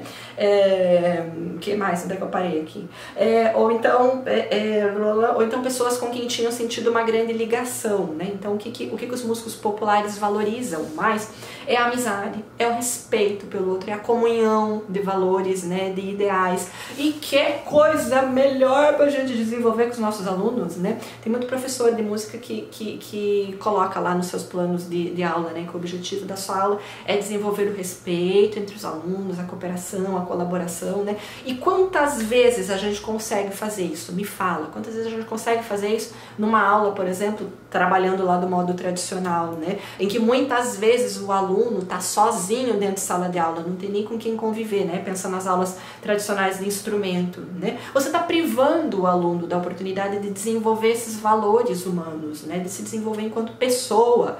É, e quantas vezes isso acontece no ambiente, por exemplo, de uma orquestra que toca, uma orquestra estudantil, vamos pensar aí, né? É, é, em que as crianças estão tocando ali repertório erudito, né? Muitas vezes o que acontece é competição entre a meninada, né? Um quer ser melhor do que o outro, um quer roubar a estante do outro para sentar mais lá na frente, etc, etc, né? A gente sabe que esse tipo de competição acontece muito no mundo da, da, da música erudita, né? E não é algo que você vê lá na... Não, não que conflitos não aconteçam, né? Nem, não que tudo seja um mar de rosas, né? Mas os músicos populares mencionam justamente isso, né? Que é, eles valorizam, o que eles mais valorizam nas pessoas são esses valores humanos, né? Então isso sinaliza pra gente que essas pessoas têm pelo menos preocupação com esses aspectos, né? Tem preocupação, elas se importam com o fato dos outros terem ou não terem valores humanos, né? Que é às vezes uma coisa que talvez não se passa na cabeça de um estudante tradicional aí de, de, de música erudita, né? Ou de um estudante que está vivenciando aí uma, uma situação mais formal de ensino de música, né? Então, de novo, o que, que a gente está falando aqui? Digamos assim, a gente está falando sobre um benefício, se eu ainda não te convenci, você se convence agora, né? Estou falando, digamos assim, sobre um benefício da, do, da gente trazer aspectos da aprendizagem informal para dentro das nossas práticas, né? Porque se a gente dá a oportunidade dos estudantes conviverem com outros estudantes, por exemplo, tocando em grupo desde o começo, a gente pode estar tá dando para eles justamente essa oportunidade de desenvolverem valores humanos mais positivos, né? Que é uma coisa que acho que toda a educação busca, né? Não é só a aula de música que busca isso, mas a educação como um todo, né? Vou te dar outra, vou te convencer hoje, tá? Vem comigo aqui na página 76, primeiro parágrafo. Vamos pensar um pouquinho também sobre outros, esses, melhor, vamos, vamos continuar falando sobre esses valores, né, que os músicos é, alimentam. Primeiro parágrafo fala assim: esta ênfase na amizade e no compromisso está ligada não só às relações sociais inerentes aos ensaios da banda e aos concertos, mas elas são importantes por dois aspectos, ou seja, essa valorização da amizade e do compromisso é importante por dois aspectos. Primeiro, tem a ver com o fato de a música que tocam ser produto do grupo e das negociações entre seus elementos. É, e a, gente sabe que isso acontece não só na música popular, né? Por exemplo, uma orquestra tocando a música que eles vão produzir vai ser fruto ali da interação entre esses membros, das negociações que eles vão fazer entre eles. Então, se eles interagem bem, a música soa legal. Um grupo que todo mundo está querendo se matar, não vai ser um grupo que vai conseguir fazer um trabalho bacana, né? É, então, o primeiro motivo tem a ver com o fato de a música que tocam ser produto do grupo e das negociações entre os seus elementos. E toda atividade de produção da banda se baseia num gosto comum, consensual e na tolerância pelos diferentes gostos de cada um né? bem como a capacidade de colaboração e a responsabilidade de chegar a horas em, ou na hora né, a ensaios e concertos com o material em ordem, sem a tutela de nenhum adulto, sem ninguém precisando mandar, no caso das bandas de grupos mais jovens, né? Repara que eu só falei coisa aqui que todo professor sonha em ver com seu aluno, né? Todo professor de música espera que seu aluno chega, seja esse que chega, chega na hora no ensaio, que chega no, no, no ensaio com material estudado, com material em ordem, nunca as partituras tudo solto, uma para cada lado, né? Que tenha compromisso com os colegas, né?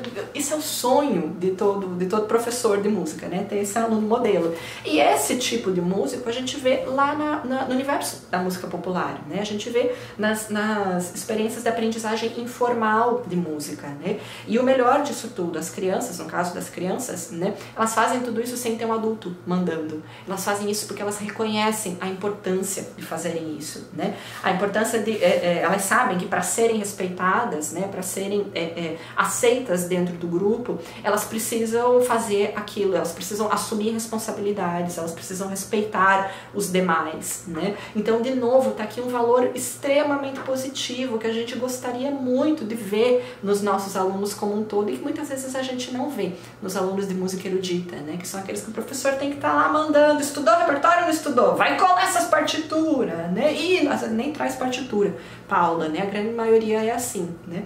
É, isso não é uma coisa que acontece no universo, por exemplo, das bandas de garagem, né? Quando as crianças se engajam ali com a, com a aprendizagem informal. Então, ainda não te acho que eu estou te convencendo, né, que é bacana a gente adotar esses princípios da aprendizagem informal para nossas aulas, né, porque os nossos alunos vão desenvolver aí uma série de coisas, por exemplo, a responsabilidade, que é algo extremamente positivo e é, na verdade, algo extremamente necessário para o desenvolvimento dele enquanto músico. Mas vou mais um lá. Nessa página 75 a gente tem um título chamado Prazer.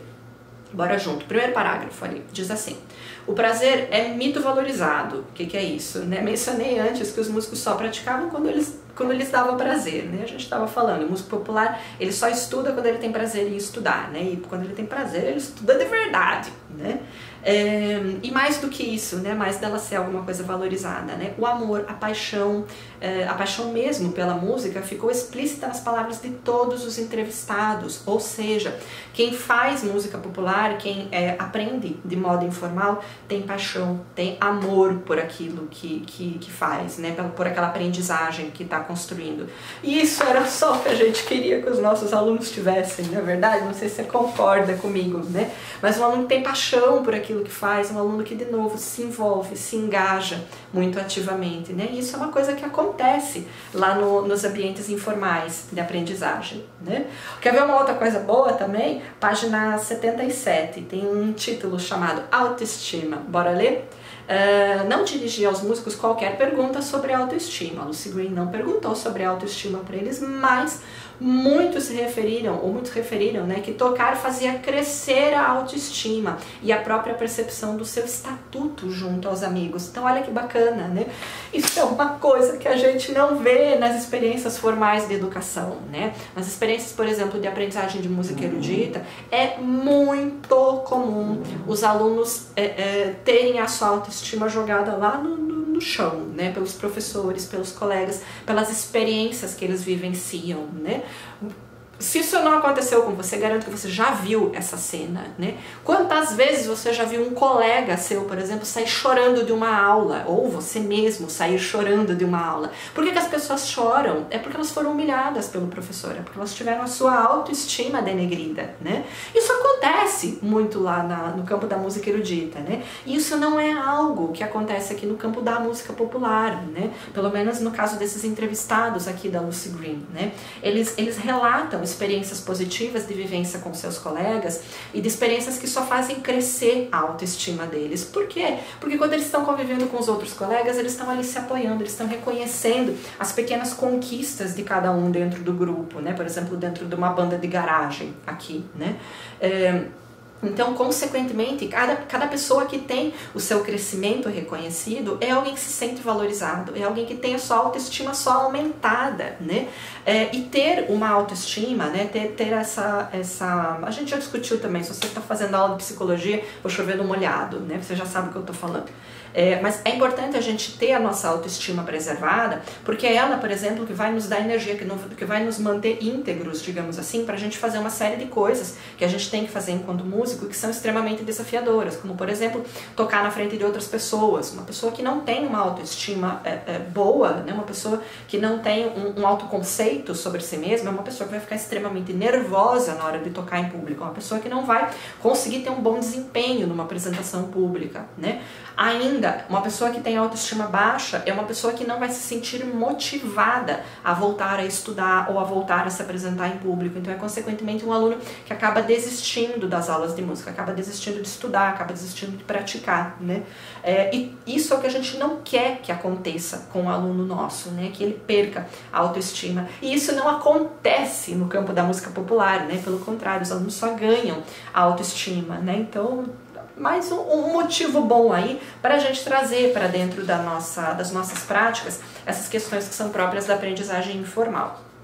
É, Tô terminando, prometo, mas vamos discutir mais uma questão ali na página 78. Tem um título chamado A Outra Música. Vamos ver um outro, um outro valor, digamos assim, um outro benefício uhum. da inclusão da aprendizagem é, informal nas nossas aulas. Vou lá em outra música.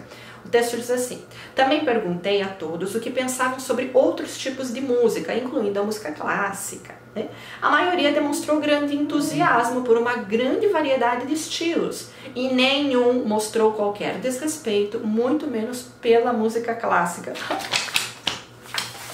Como é que faz o. Ai, eu não sei fazer.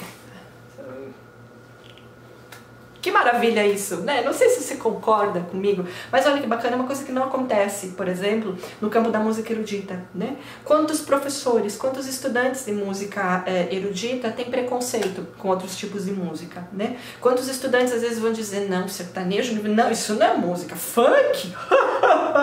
Aquelas músicas que só fala de bunda, não, isso não é música, isso é lixo, né?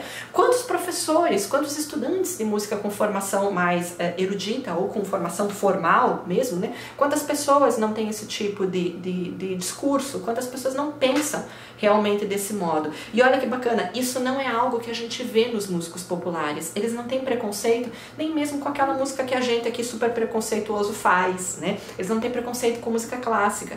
E por que que isso é legal? Por que que isso é bacana? Porque essas pessoas estão mais abertas do que a gente aqui da música clássica, do que um estudante sujeito a um sistema formal de ensino, né? E pessoas mais abertas abertas para escutarem várias músicas, para receberem várias músicas, são pessoas que vão aprender muito mais, né? É, então, por isso que eu estou fazendo piada aqui com você. Eu não sei fazer o coraçãozinho. Ah, eu não sei fazer. É, por isso que eu tô fazendo piada aqui com vocês, né? É porque o vídeo tá longo também, eu sei. É, mas por isso que eu tô fazendo piada. É porque é muito bacana tudo isso que a gente vê acontecendo lá no universo da aprendizagem informal. Então acredito que a gente tem muito a ganhar se a gente for lá beber um pouco dessa fonte. Se a gente for lá ver o que que tá acontecendo e tentar trazer esse burungundum ali para dentro das nossas práticas. Acho que a gente vai ganhar muito com isso, né? Só terminando, o parágrafo diz assim: muitos deles, desses músicos que a Lucy Green entrevistou, tinham mesmo aprendido sozinhos a tocar várias peças clássicas, especialmente bar, no caso dos guitarristas, né? O guitarrista gosta muito de tocar bar, né? As bandas é, que tem, que tem guitarristas aí bem né? Eles geralmente gravam esse tipo de repertório, né? É, e para alguns, né, e, e, e, esses músicos faziam isso, na verdade, para alargar os seus conhecimentos e técnica, né, ou apenas por prazer. Viu que bacana, né? É, então, não significa que você trazer música popular para dentro da sala de aula ou trazer essas experiências da aprendizagem informal vai limitar os alunos, né? Ah, daí eles só vão querer fazer esse tipo de repertório, daí eles não vão querer ir para outra música, como diz o texto. Não, eles querem, e eles querem justamente porque eles veem nessa outra música um desafio para aprender técnica ou mesmo uma, uma nova forma de conseguir prazer fazendo música. Beleza? Fechamos a discussão do, do nosso texto 1, que é o texto de autoria da própria Lucy Green. Agora eu vou pegar com vocês o texto 2, esse texto 2, na verdade, ele vai estar fazendo uma síntese zona de tudo o que disse o texto 1, um, né? Uh, como o título dele sugere, esse texto está apresentando um relato de uma, de, uma, de uma experiência de sala de aula, né? É um projeto piloto, na verdade, então como todo projeto piloto, é uma experiência que está na sua primeira tentativa, né? Então ela tem coisas que funcionam e coisas que não funcionam.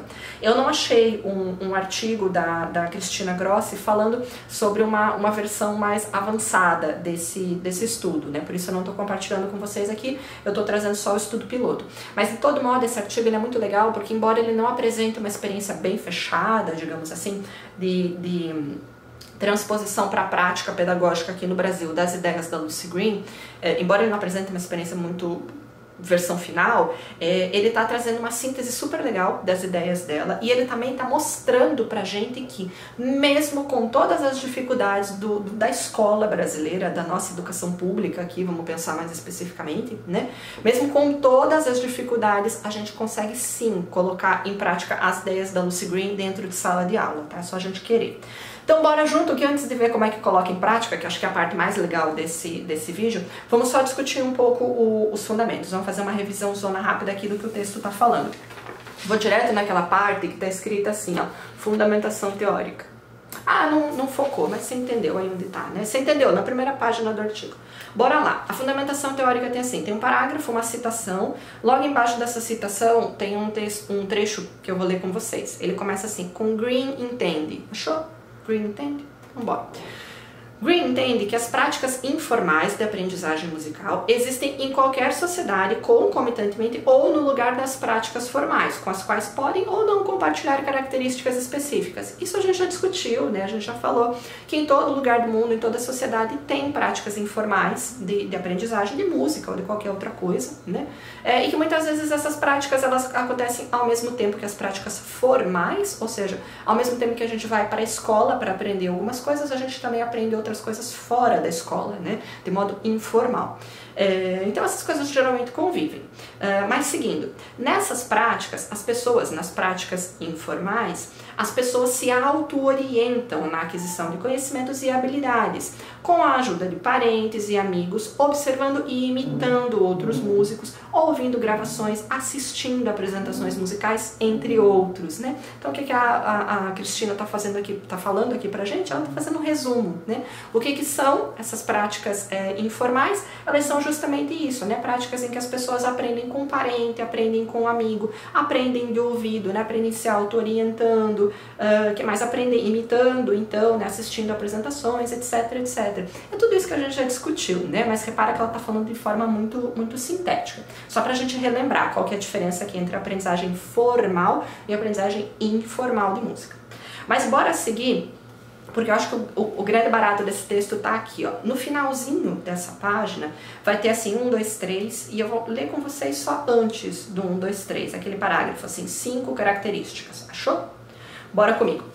Cinco características ou princípios uh, das práticas informais de aprendizagem da música popular são identificadas por Green. Então a gente vai ler aqui na sequência cinco princípios da aprendizagem informal, ou seja, são cinco coisas, até como o próprio texto diz, são cinco coisinhas que caracterizam um processo informal de aprendizagem.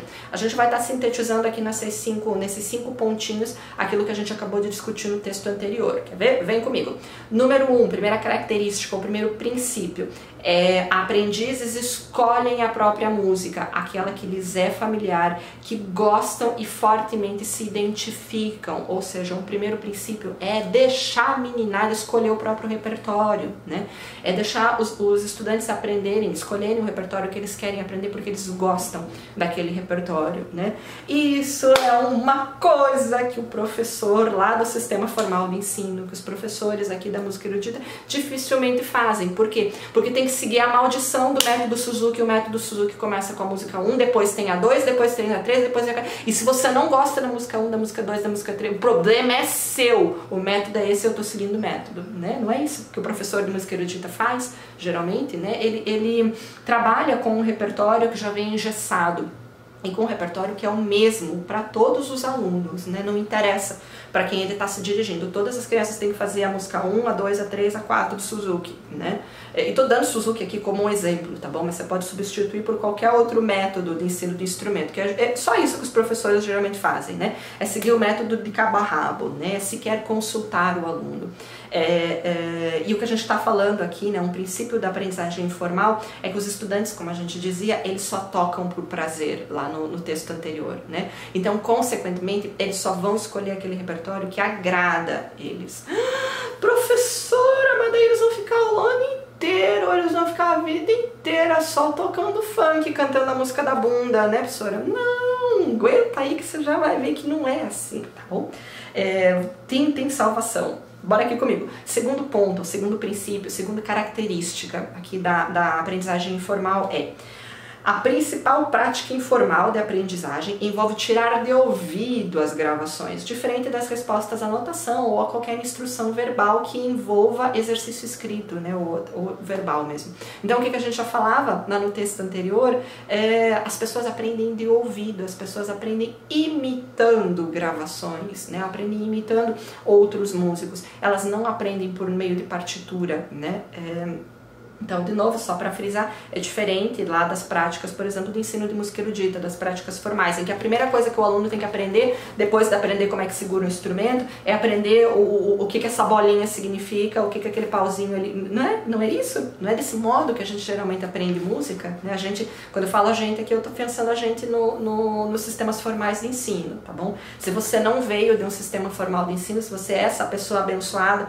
por esse contexto aqui, você deve entender muito bem o que eu estou falando. Né? As pessoas aprendem de ouvido. Então, isso é outra característica que a gente pode começar a trazer aqui para as nossas práticas também. Terceira característica ou terceiro princípio: não somente o aprendiz é um autodidata, mas especialmente a aprendizagem acontece em grupo. Então, como a gente estava dizendo, né? desde o começo, os alunos estão praticando com outros colegas, né? eles estão se envolvendo em atividades em grupo, eles estão aprendendo não só porque eles são autodidatas, mas é por conta dessas experiências que eles estão construindo com seus pares, né? Então eles aprendem junto com outros colegas. Uh, quarto princípio, eu tô virando a página que ele tá lá penduradinho do outro lado. Aprendizagem informal envolve a assimilação de habilidades e conhecimentos de forma pessoal, frequentemente casual, de acordo com as preferências musicais, começando com a noção do todo na música, do mundo real, né? E no formal é o contrário. Os, os jovens seguem uma progressão do simples para o complexo, né? Primeiro você tem que fazer músicas lá na flauta doce, só com a nota sol. Aí depois que você aprender a tocar a nota sol, você faz músicas com a nota sol e lá. Depois sol, lá e si, assim vai indo, né? É, e isso, repara, não é uma, uma vivência do mundo real na música, né? Qual que é a música de repertório que a gente vê por aí? Qual que é a música que a gente escuta no rádio que tem só a nota sol? Me fala se existe essa música. Essa música não existe. Não é verdade? Né? Uh, e aqui nas experiências de aprendizagem informal, o que a gente vê é desde o começo o aluno se engajando, o aluno se envolvendo com a música de forma complexa, com a música do mundo real mesmo. Né? É, só fazendo um, um, parênteses aqui, né? Quando a gente fala sobre isso, a gente está discutindo, na verdade, uma, uma dicotomia entre aprendizagem linear e aprendizagem complexa ou aprendizagem em rede, né? O que, que a gente quer dizer com isso? A aprendizagem da escola tradicional como um todo, ela é uma aprendizagem organizada de modo linear. O que, que é isso? Primeiro você aprende a nota sol, depois você aprende a nota lá e você toca sol e lá, depois você aprende a nota si. Você deve estar me vendo espelhado aí, mas você entendeu, né? É, é seguindo uma linha, né? Do mais simples para o mais complexo. É, hoje em dia, né, a, a, escola tradicional, vocês já sabem, vocês já devem ter feito aula lá de Fundamentos do Ensino da Arte, né? A escola tradicional recebe uma série de críticas, né? Por quê? Porque ela não é uma, uma escola que permite o aluno viver o mundo real, né? Como o próprio texto diz, né? Ela é uma escola que se distancia muito da realidade dos alunos, né? Consequentemente, ela é uma, uma escola que, de novo, ela mais se afasta do que ela se aproxima dos alunos, né? Então, hoje em dia, a gente já critica essa ideia do, do conhecimento conhecimento linear, né? A gente já não entende, a gente já entende, na verdade, que essa não é a única forma de se aprender, que uma forma de aprender é por meio do, do, do, conhecimento organizado em rede. O que, que é isso? Né? Você parte de um assunto que você quer entender, mas para você entender aquele assunto, você vai precisar estabelecer uma conexão com aquela outra coisa, com aquela outra uma, com aquela outra lá. Não é para eu saber esse assunto aqui no final, eu tenho que aprender primeiro isso, depois aquilo, depois aquele outro, para daí eu chegar lá. Percebe? Se eu quero aprender isso, basta eu estabelecer conexões com coisas que não estão organizadas em linha. Né? Basta eu ir buscar as referências. Mesma coisa aqui, né? Quando você coloca o aluno já direto, né, como diz a, a, a, a Lucy Green, né, quando você coloca ele para mergulhar direto, indo fundo na experiência musical, né, quando ele mergulha no fundo da experiência musical, você está dando na mão dele a experiência musical em toda a sua complexidade. E para o aluno dar conta, por exemplo, de tocar uma música que você já, já deu para ele, por exemplo, vocês aí, né, na nossa primeira aula aqui de Lucy Green, quando eu dei para vocês, to, a música é essa, o repertório é esse, toquem, o que, que vocês precisaram fazer? Para dar conta de resolver aquele problema, vocês precisaram, sei lá, ir, lá nas suas aulas de piano, ir lá nas suas aulas de violão e retomar aquelas coisas que vocês sabiam para trazer para cá.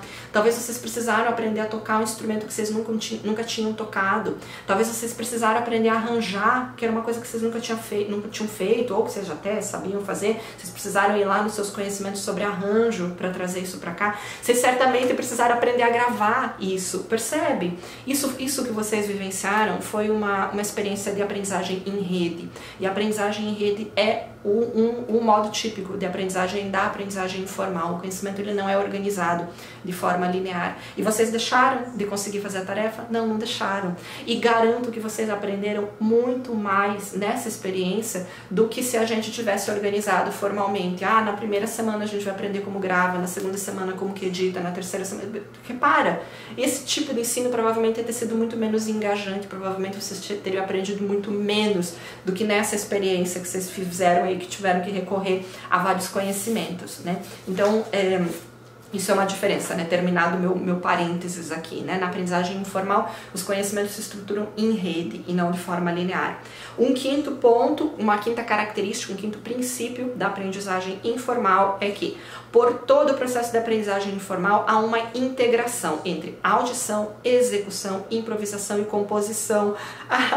Você lembra, né, das três letrinhas do modelo CLESP, né? Olha que legal, Lucy Green está falando algo aqui que é o mesmo que Sonic fala, né? Quando você é, pratica aprendizagem informal, você está fazendo aquelas três coisas que a escola geralmente não faz, que a educação tradicional de música geralmente não faz. Os alunos só aprendem execução musical, né? Aqui não. Aqui a gente está integrando execução improvisação, composição, audição, né? E quando eu falo audição aqui não é audição só daquilo que você toca, né? Daquilo que você mesmo está produzindo, mas é audição de outras referências musicais, de outros músicos, de outros repertórios, né? Um, e tudo isso com ênfase na criatividade, porque é, embora os músicos populares trabalhem por imitação, né, é, a gente pode ver, por exemplo, as bandas de cover, elas dificilmente fazem exatamente, tem banda até que faz, né, é, mas tem muitas bandas que não fazem exatamente aquilo da gravação original, né, elas recriam o repertório a seu modo, elas não simplesmente imitam o repertório, né, elas vão um passo além, né, elas dão a sua própria individualidade para o repertório que elas tocam, né, e isso né, é criatividade, é, é, não, é não reproduzir simplesmente as coisas tal qual elas estão aí postas, né? É você criar, é você se permitir inventar em cima daquilo. E isso mesmo os músicos populares que aprendem imitando, que aprendem de ouvido, eles também desenvolvem, eles também desenvolvem essa criatividade. Então aqui a gente acabou de discutir cinco princípios cinco características, digamos assim, de como se desenvolve a aprendizagem informal. Acabei de responder pergunta, né? Uhum, beleza. Então bora lá, vamos continuar. Tô na página 23, vou ler ali, ó, naquela coluna da esquerda, vou ler no, no terminou as bolinhas, tem um parágrafo, aí tem um outro parágrafo da sequência, que começa com ainda de acordo, achou, né? Não vou ler esse parágrafo desde o começo, eu vou ler a última frase dele. É aquela que, que começa com a própria MP. Achou? A própria MP? A própria música popular. Bora junto. A própria música popular pode estar presente em muitas classes e a gente geralmente vê, né? Quantos professores aí, por exemplo, dão aula de instrumento ensinando música popular, né? Lá dão aula de violão, trabalhando com música popular, ensinando os alunos a tocarem, né? Então, tem muito professor que traz a música popular para dentro das suas aulas, né? Então, a própria MP pode estar presente em muitas classes, mas pode estar também sendo abordada de forma descontextualizada, distante das formas com que é criada e transmitida no mundo dos jovens fora da escola. Então, isso a gente já falava no texto anterior, a gente só volta a frisar. Não basta você trazer música popular para dentro da sala de aula, você precisa também trazer os métodos, os modos de aprendizagem dessa música, que são aqueles próprios da aprendizagem informal. Então não basta ensinar repertório popular, não basta ensinar seu aluno a tocar Djavan, começando a sua primeira aula de violão, ensinando para ele onde é que você bota ali a sua mão ali no instrumento, como é que você faz a forma do não sei o que, do não sei o que lá, né? Como é que lê essa, essa cifra aqui, ó? Repara aqui, esse C significa aquilo. Quando você vê isso daqui aqui, você bota a tua mão lá. Não adianta a gente é, é, ensinar é, música popular recorrendo a sistemas de notação, recorrendo, ou melhor, colocando a técnica como foco no nosso ensino, fazendo ensino individualizado, que é aquele só um professor e um aluno. Não adianta trazer música popular para dentro de sala de aula e continuar ensinando ela de modo erudito. Né? Isso acho que é uma provocação, uma das principais provocações que a Lucy Green está trazendo aqui pra gente, né? Porque lá na Inglaterra, lá no país de onde ela vem, é, é isso o que a gente vê, né? A gente vê a música presente na escola, as crianças têm aula de música na escola, as crianças fazem música popular na escola há décadas já. Esse é um conhecimento que já entrou dentro das escolas, mas nem por isso os modos de aprendizagem informal entraram, né? A música popular continua sendo é, ensinada de modo erudito, ela continua sendo ensinada daquela forma que mais afasta as crianças do que aproxima elas da aprendizagem. Uh, mas bora lá, vamos continuar na sequência. O texto vai estar trazendo uma outra discussão aqui que também está falando sobre. Repara que aqui a gente acabou de responder um como do nosso, do nosso, da nossa pergunta lá, né? Como que a gente coloca a aprendizagem informal em prática? Pergunta 2. A gente acabou de dizer, né? Como é a gente colocando não só o repertório da música popular dentro de sala de aula, mas os princípios da aprendizagem informal. E quais são esses princípios? São aqueles cinco que a gente acabou de discutir ali em cima, tá? Mas vem cá que a gente vai continuar respondendo essa pergunta. A gente vai dizer como que o professor coloca a aprendizagem é, informal dentro de sala de aula. A gente vai falar um pouquinho mais especificamente sobre o papel do professor nessa aprendizagem informal, né? Porque né, repara que a gente, peraí, na aprendizagem informal é aquela que o músico aprende como autodidata, ouvindo gravar, e o professor entra onde? Nisso daí, né? E o professor lá dentro da sala de aula que vai, que vai querer é, se apropriar dessas, desses princípios Aí da aprendizagem informal, tem que fazer o quê? Ele joga o instrumento na mão do aluno, fecha a porta e fala, vou ali fumar, daqui uma hora eu volto? Não, não é isso que o professor vai fazer, ele não vai se ausentar do processo. Vamos ver qual é o papel dele. Tô lá na página 23, coluna da esquerda, finalzão dela. Vou ler a, a, a, as três últimas linhas. Elas começam assim, com segundo ela, o professor... Show? Bora! Segundo ela, o professor, nesse contexto, no contexto da aprendizagem informal, faz as atividades evoluírem, permanece por trás, observa, diagnostica, guia o estudante, sugere, serve de modelo, assume a perspectiva dos aprendizes, ajuda os estudantes a alcançar os objetivos que eles propõem para eles próprios Repara que é um professor que está agindo de forma completamente diferente do professor tradicional, né? É, vindo, vamos por partes, né? É, é o professor que faz as atividades evoluírem, ou seja, ele dá as condições para que o negócio ande para frente, né? Ele não é um professor também que vai, vai se afastar do trabalho, né? Ele não fecha a porta e vai fumar e daqui uma hora eu volto, né? É, mas ele é um professor então que permanece por trás. Ele não está o tempo todo tendo o papel é, é, central ali nos processos de ensino. Ele não está o tempo todo dizendo para o aluno o que ele deve fazer e o que ele não deve fazer, mas ele está ali por trás, observando, né? Como diz aqui o, o, o texto, né? Porque ele observa, ele diagnostica ele está tá entendendo o que está acontecendo com o estudante, então ele se dá mais tempo para observar do que um professor é, tradicional, né? Para ele poder guiar o, o estudante, para ele poder dar sugestões, né? Então não é que ele não vai fazer nada, ele, ele intervém sim, mas ele observa muito mais, né? Ele, ele espera o diagnóstico se concretizar, ele espera o estudante errar, ele espera ver como é que o estudante vai conseguir ou não conseguir responder aquele erro dele, que é uma coisa diferente do professor tradicional. O professor tradicional tem medo do erro, professor tradicional não quer ver o aluno errando. Meu Deus, se os meus alunos estiverem tocando errado e alguém passar no corredor e ouvir os meus alunos desafinados aqui, aqui vão me achar um péssimo professor. Isso é o que pensa o professor tradicional, né? O professor tradicional ele tem que evitar que o erro do aluno apareça, né? É, e o erro não não sou eu que digo isso, né? Mas o erro são os construtivistas que dizem. É, o erro é uma oportunidade muito importante de aprendizagem, porque ele é uma oportunidade de tomada de consciência, né? E a gente só aprende de fato alguma coisa se é por meio da tomada de consciência, né? Se a gente se, se conscientiza que há um problema na situação e que esse problema precisa ser resolvido, né? Se a gente se conscientiza disso a gente coloca para funcionar ali todos os nossos recursos para dar conta de resolver aquele problema, né? Então o erro tem que aparecer. Por isso o professor aqui nessa perspectiva, ele fica mais por trás, ele observa, ele deixa os erros aparecerem primeiro para depois ele sugerir, né? Ele deixa, ele confia no aluno, ele acredita que o aluno pode tentar encontrar as suas próprias alternativas, né? Ainda, ele é um professor que assume a perspectiva dos aprendizes, né? Ele é alguém que se coloca no lugar de quem está aprendendo Ele é alguém que tenta enxergar aquilo pela ótica do, do, do próprio estudante, né? Uh, ainda, ele ajuda os estudantes a alcançarem os objetivos que eles próprios propõem para eles mesmos, né? Isso é completamente oposto do que faz o professor tradicional. O professor tradicional é quem determina os objetivos. Você vai tocar essa música nesse, nesse, nesse período de tempo. Você tem que tocar essa música até o dia da apresentação. Isso é o que faz o professor tradicional, né?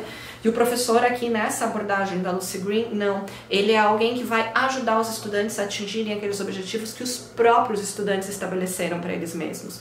Os próprios estudantes definiram, é esse repertório que eu vou tocar, então o professor vai ajudar eles a conseguirem chegar naquele objetivo, né? Não é o professor quem vai estabelecer as próprias metas. É, então aqui também a gente acabou de responder um pouco o como, como que o professor deve agir nessa perspectiva aqui da, da Lucy Green, né? Como que o professor deve agir ao, ao trazer para dentro do ensino formal essa aprendizagem informal que a gente está debatendo. Bora, bora ver um pouco na prática tudo isso? Acho que agora foi muito tudo, tudo, tudo muito teórico até esse ponto onde a gente está falando, né? Vamos, vamos observar um pouco esse negócio funcionando aqui mão na massa agora. Vou ler com vocês alguns trechinhos aqui do texto em que a gente fala sobre o projeto piloto e na sequência, aguenta aí, não dorme não, tá? É, na sequência eu vou colocar aqui também para tocar alguns vídeos para a gente ver um pouquinho o que, que é essa experiência da, de trazer aprendizagem informal para dentro do formal que a Lucy Green propõe, quer ver? Antes da gente chegar lá nos vídeos, vem cá comigo no texto. Ali naquela parte chamada 3, o projeto piloto, eu vou no parágrafo 3. É aquele que fala assim, o estágio 1 Achou? Então, bora. Qual é o primeiro momento da, da concretização dessas ideias aqui da Lucy Green? Por onde que começa esse trabalho de trazer para o formal o informal? Pelo estágio 1. O estágio 1 acontece em quatro encontros, na verdade aconteceu, perdão, em quatro encontros nessa experiência específica aqui que a Cristina Gross está relatando, tá bom? Mas ele pode acontecer em uma quantidade variada de, de encontros ou de aulas, tá? A Cristina está falando sobre um caso específico. Você faz do jeito que você quiser na sua prática. Então, estágio 1 aconteceu em quatro encontros. Segundo Green, nessa etapa, os jovens são lançados na parte funda. O que ela quer dizer com isso? Eles são jogados em contato com música do mundo real, né, em toda a sua complexidade, como vocês foram, por exemplo, lá na nossa primeira aula. Né? Eu joguei pra vocês, ó. O arranjo que eu quero que vocês toquem é esse, a música que eu quero que vocês toquem é essa daqui, tó. Vai lá, faz, né? Eu não fiz um passo a passo com vocês. Eu não falei, primeiro eu quero que vocês aprendam a linha harmônica. Agora vamos aprender a voz. Agora a linha da pergunta. Não, a gente não fez isso no processo linear, né? Eu falei, ó, tá, tá aqui, te vira. Quero, quero o arranjo gravado no final da semana, né? Então, nessa etapa, nessa primeira etapa, os jovens são lançados na parte funda, em contato direto com a música, tá? chegando o mais próximo possível das práticas de aprendizagem da vida real de músicos populares. Nos encontros, ou seja, ali nas aulas, espera-se que eles possam escutar a música e reproduzi-la, é, imitar de ouvido, né? Uh, e esse é o objetivo contínuo que se estende por vários encontros e estágios, ou seja, em vários encontros, em todas as aulas aqui, na verdade, né, os alunos vão estar fazendo isso, eles vão estar se relacionando com a música de fato, em toda a sua complexidade, e eles vão estar imitando, vão estar aprendendo de ouvido. Um, como estratégia de ensino, o trabalho começa com uma breve conversa na classe, partindo da pergunta: Como vocês acham que os músicos populares, por exemplo, os que vocês escutam no rádio ou assistem na TV, como que esses músicos aprendem a tocar os seus instrumentos? Como eles aprendem a cantar, improvisar, a compor música? Né? Depois dessa conversa inicial, Uh, os jovens se organizam em grupos pequenos, levam o seu CD, porque você dá para os alunos um CD, eu já vou explicar sobre essa coisa do CD. Então os alunos, os jovens se organizam em pequenos grupos, levam o seu CD e um aparelho de som para tocar o CD, evidentemente, é, para a área de prática, para uma sala, para um canto na escola, para algum lugar, para uma área de prática, né? Então eles CD, aparelho, a meninada vai lá debaixo do braço com eles, é, escolhem uma música de sua preferência, ou melhor, escolhem uma música da preferência do grupo, né? Eles selecionam também os instrumentos para tocar e começam a tirar a música de ouvido. Então, trocando em miúdos. O que, que é a proposta da, da Lucy Green? Você joga os alunos direto na parte funda, né? Você não, não deixa eles nadando no rasinho, na piscina, né? Você fala, você quer nadar? Então vai, você joga na piscina, né? Tá aqui a música com toda a sua complexidade, né? Você apresenta o repertório para os alunos. Nesse caso aqui, a Lucy Green, ela propõe a organização de um CD Hoje em dia a gente não. Tem criança que não sabe mais o que é um CD, mas enfim. É, vamos continuar com a ideia do CD. A gente pode organizar faixas de MP3 que troca pelo WhatsApp, pode fazer qualquer coisa que substitua, tá bom? Mas a, a ideia é organizar, vou continuar falando de CD aqui, você não dá risada, tá? A ideia então da, da Lucy Green, como que a Lucy Green fazia as experiências dela, como que a Cristina Grossi fez aqui. Organiza um CD com é, músicas para os estudantes tocarem, né? com repertório pop, repertório que eles, que eles escutam. Ah, e um parênteses, quando eu falo em música popular, né, eu vim falando o vídeo inteiro de música popular e eu não falei o que, que é essa música popular que a gente está falando, né? Acho que ficou claro, talvez, né, que é tudo aquilo que não é música erudita. Mas quando a Lucy Green fala em, em popular, é popular mesmo, tá bom? Eu não tô falando em MPB, eu não tô falando nessa música, MPB já virou praticamente música cult, né? É, eu tô falando em popular, eu tô falando no sertanejo universitário, eu tô falando no funk, eu tô falando no rap, eu tô falando nessa música que toca no rádio, tá? É, então, o que a Lucy Green propõe? Grava ali um CD lá com músicas diferentes dessas para os adolescentes, dá o CD, dá o rádio na mão da meninada e fala, vai-te. Vai-te lá para um canto, escolhe aí dentro desse CD qual que é a faixa, qual que é a música que vocês querem aprender, tá? Aí toma aqui, pega os instrumentos, vai lá e, e, e tira de ouvido faz esse negócio aí, né? É, ou seja, você joga eles direto naquelas vivências que são próprias do, do, dos músicos populares, né? Que trabalham como? Trabalham em grupo, né? Desde o começo, mesmo quando eles não sabem tocar nada, eles estão trabalhando em grupo, eles estão escolhendo o seu próprio repertório. O que mais que está acontecendo de característico aqui? Pode pegar os cinco princípios, né? Você vai ver os cinco princípios. Quer ver? Vem cá. Você vai ver os cinco princípios aqui em ação. Ó, os aprendizes escolhem a própria, a própria música. Número dois, é é, tiram de ouvido essa gravação e tiram imitando a, a, a, gravação. Número 3, o aprendiz ele é autodidata, mas ele trabalha em grupo, né? ele está tá em grupo tentando tirar as músicas. Número 4, é, hum, aprendizagem informal envolve assimilação de habilidades. Ah, sim, mas também, sim, o do começo, isso. Você joga a meninada lá de contato, em contato direto com o mundo real, né? com a música em toda a sua complexidade. Você não faz o processo linear. Você deu-lhe o CD na mão e fala, vai lá, toca. Não vou ficar te ensinando, ai, como é que toca a batidazinha do, do, do da percussão, como é que afina o canto, bora, não, você não, toca, a faixa tá aqui, em toda a sua complexidade, bora, bora fazer o que é necessário pra gente conseguir resolver esse problema. E o quinto aqui, o que que era?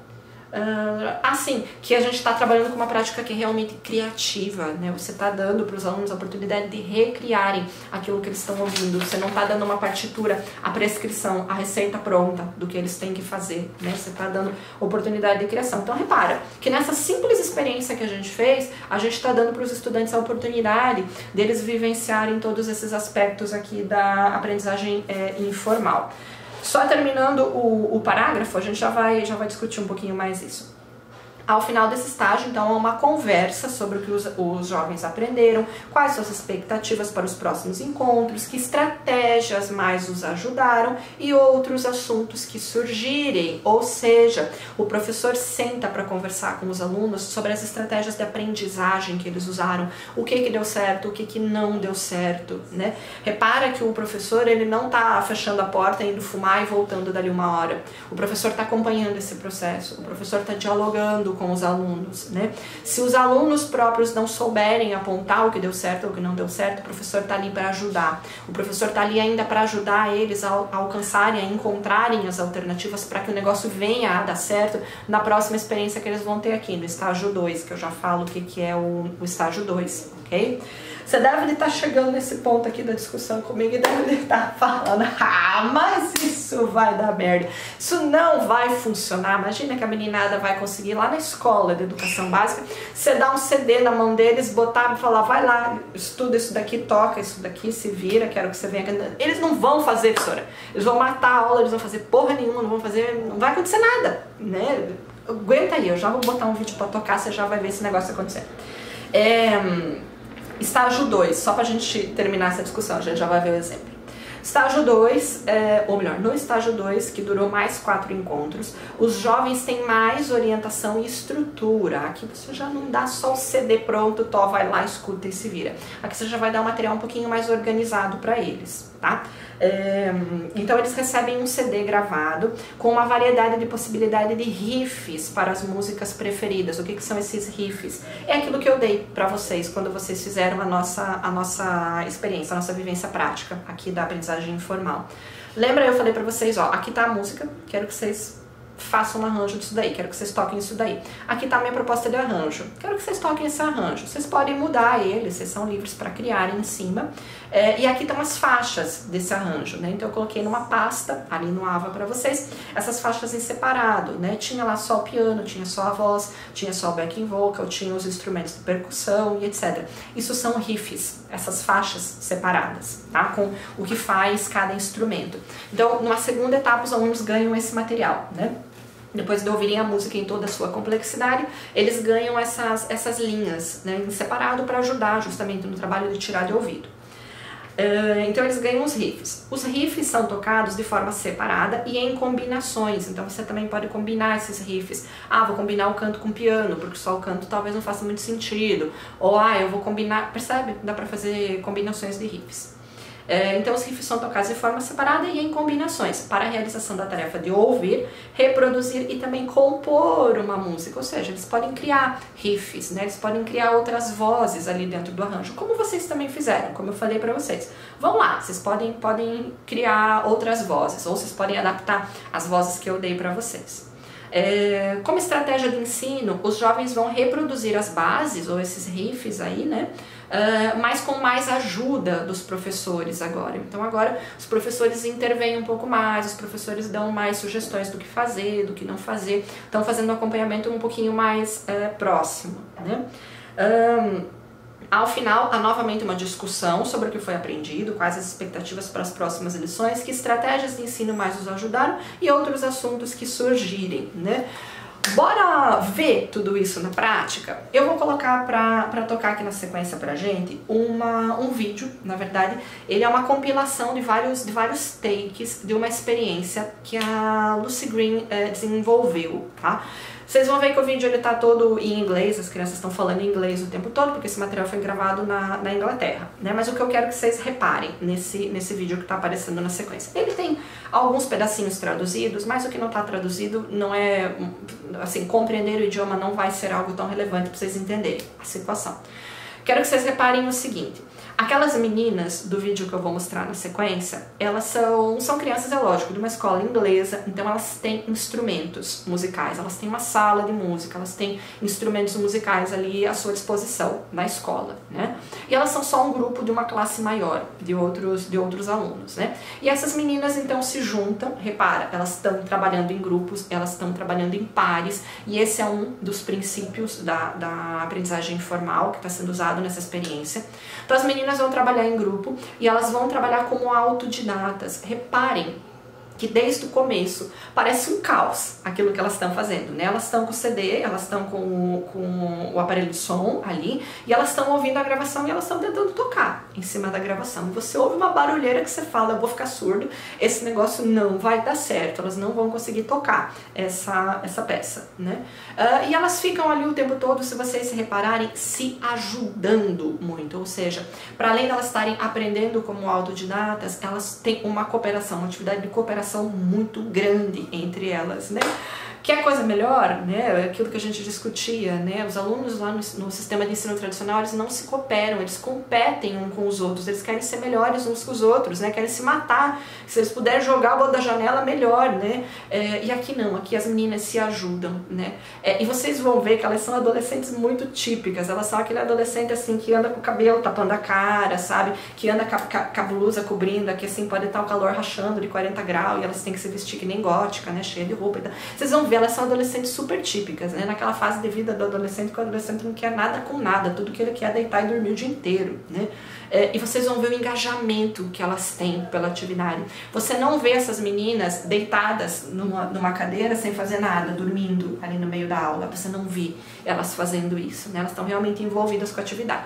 Aí, enfim, vocês vão vendo que elas vão, vão, vão indo, vão, vão brigando entre si, vão, é, vai chegar um momento ali também que elas vão ter uma dificuldade, uma delas não vai conseguir tirar a música, é, aí ao invés da professora chegar, a professora que está filmando, né, ao invés dela chegar e falar para a menina, ó, oh, a, a nota é essa, dó, mi, sol, toca aí, dó, mi, sol, ao invés dela dizer isso, ela, ela pergunta, né? Ela muito gentilmente pergunta: o que que vocês, o que está acontecendo? E por que que vocês precisam de ajuda? Qual é a ajuda que vocês precisam? E vocês vão ver que é muito legal, né? Quando vai chegando no final do diálogo, as próprias estudantes meio que chegam na, na conclusão que elas podem se ajudar elas não precisam do professor, né? Então esse é o papel do professor, de novo, né? É não ficar o tempo todo dizendo o que o aluno tem que fazer, mas é dar autonomia para que o aluno assuma a responsabilidade pela sua própria aprendizagem, né? Que é uma coisa que a gente não tem na escola tradicional, né? E reparem como isso acontece ali no vídeo. É, uma das últimas coisas que vocês vão ver na sequência é que chega uma hora, né, à medida que as semanas vão avançando, que as aulas vão passando, chega uma hora que as meninas vão começar a receber uma ajuda, uma instrução mais profissional. Então vocês vão ver outros adultos ali interagindo com elas, né? Chega um professor de guitarra, se eu não me engano, e vai ajudar uma das, das meninas ali a tocar guitarra, a se encontrar e tal. Então não é que essas crianças, não é que essas, meninas, essas adolescentes ali, né, elas vão estar trabalhando sem, sem orientação nenhuma né, o professor ou um músico chamado de fora, vindo da comunidade, né, algum especialista naquele instrumento, ele chega justamente para ajudar elas, tá bom? Então, chega de falar, observem na sequência os cinco princípios da aprendizagem informal para além do, do, da metodologia que a gente vai estar tá vendo, tá? Observem lá as meninas trabalhando em grupo, escolhendo o próprio repertório, é, não, não trabalhando com notação, desde o princípio a notação entra de, de, de forma secundária, né? Observem elas é, se, se engajando com a experiência complexa logo de cara, né? É, enfim, todas essas coisas que a gente discutiu. Já falei demais, bora ver.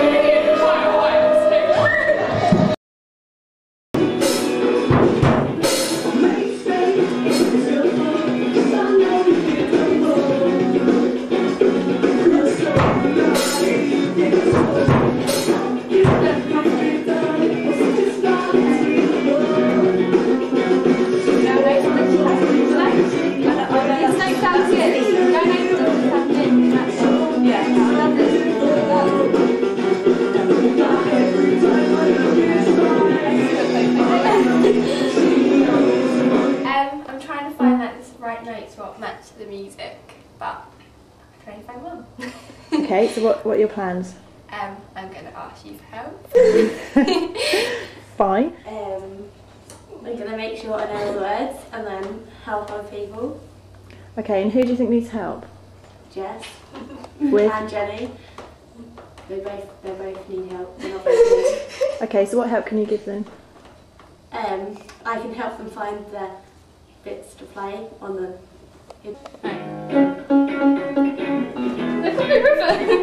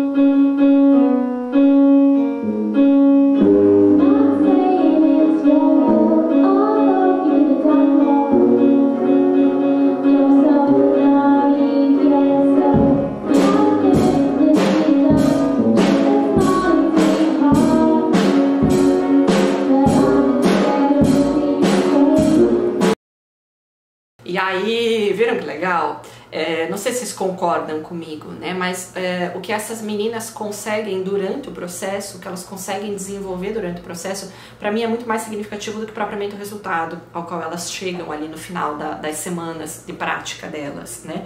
É, é lógico que elas conseguem tocar a música, né? Bem ou mal, ali em seis semanas de trabalho, elas conseguem preparar um repertório, né? É, e, e eu acho que o mais interessante de tudo isso, né? Não é elas chegarem nesse resultado final, mas são as experiências que elas vivem durante o processo, né? São as aprendizagens que elas constroem juntas, são as decisões que elas aprendem a tomar, né? É, eu acho que isso é uma das grandes vantagens que a gente tem aqui de, de trazer essas ideias da aprendizagem informal para dentro do ensino de música, né? Mas só frisando ali, ó, repara, o que, que a gente tinha nessa, nessa, o que, que a gente viu nessa experiência Primeiro princípio, escolha do repertório. As meninas escolheram a música que elas queriam tocar. Não sei se vocês repararam, tinha uma hora ali até que estava tocando uma outra, uma outra música, um outro repertório. Era um outro grupo ensaiando na sala, ensaiando por perto, né? Porque cada grupo aqui escolhia a sua própria música, né? Não era a sala inteira fazendo o mesmo repertório.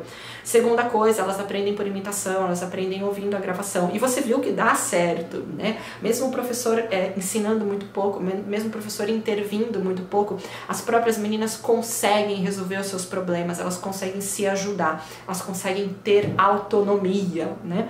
Terceira coisa, aprendizagem em grupo, né? Que é justamente o que a gente estava discutindo. É pelo grupo que elas se ajudam, é pelo, pelo grupo que elas se, é, é, aprendem umas com as outras, né? Quem sabe mais ou quem já resolveu aquilo que precisava resolver é a que vai acabar ajudando a outra, né? É, uma quarta coisa, as meninas estão inseridas desde o começo da experiência delas com a música é, é, real, né? Elas mergulham fundo, elas são jogadas lá no fundo da piscina desde o começo da, da experiência aqui, né? Então elas têm contato com música de verdade desde o começo da aprendizagem. E a quinta coisa, o quinto princípio que a gente tinha discutido, que era característico da aprendizagem é, informal e que a gente viu aqui no vídeo também, é a integração entre o ato de tocar, mas é o não tocar por si só, é o tocar junto com o ato de ouvir e junto com o ato de criar. Se vocês repararam, né, a versão final que as meninas fazem dessa, dessa música, o arranjo delas, não é a música em si, né? Não é uma cópia exata e perfeita, né? É uma recriação, é uma versão dela delas daquela música, né? Então, é, é, todos esses princípios entrando em ação, né? A gente vê, em síntese, então, né, que a, a, a autora, ou a professora aqui no caso, né, ela não está colocando em prática só uh, uh, o uso da música popular como recurso, como repertório, mas ela está trazendo para dentro de sala de aula os princípios da aprendizagem da música popular, que são os princípios da aprendizagem da, da prática informal. É, mas você já deve estar se perguntando essas alturas do campeonato. Ah, professora, mas eles só vão querer ficar tocando esse negócio pro resto da vida. Eles só vão querer ficar tocando esse tipo de repertório. Eles não vão querer sair disso, professora. Se você deixar, eles só vão querer ficar na música pop. Eles não vão aprender para além disso. Aí o que, que vai acontecer? As vivências, as práticas musicais deles vão ficar restritas. Né? Eles não vão aprender o tanto que eles podem aprender na aula de música, por exemplo, conhecendo outros estilos, né? Conhecendo música clássica, que é aquela coisa que um adolescente desse daí, né, do cabelo assim, gótico, emo, não vai querer saber de jeito nenhum espontaneamente, né, professora? Então, não, é, esse negócio só funciona para ensinar música popular, né, professora? Não, tá bom? Vou botar para tocar na sequência um outro vídeo, uma outra experiência que está fazendo exatamente a mesma coisa, só que agora com repertório de música erudita. Não vou falar, eu só vou querer que você observe aí durante esse, esse vídeo aqueles cinco princípios da aprendizagem informal, tá bom? Terminando o vídeo a gente vai voltar para conversar aonde que eles aparecem, ou o que, que a gente tem de aprendizagem informal nessa experiência que vai ver na sequência, que é uma experiência focada na aprendizagem de, de música erudita. Bora junto? Is go into your group with a CD player and choose which tracks you are going to copy. You're only going to copy one track. These tracks are actually adverts.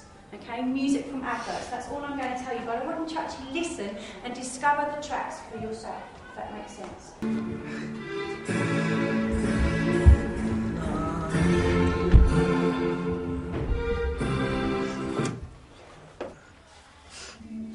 We can fasten up a bit, huh? Do what? Make them faster. Oh, it's, what's this one? It's opera. We should do that. Yeah, we did.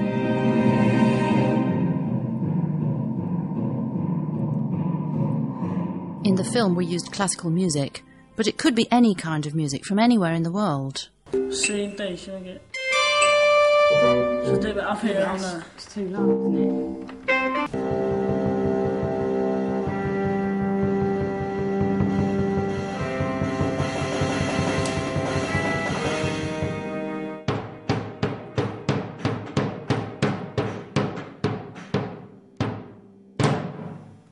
After the advert music, they were given another CD with classical pieces, just like the funk CD earlier in the year.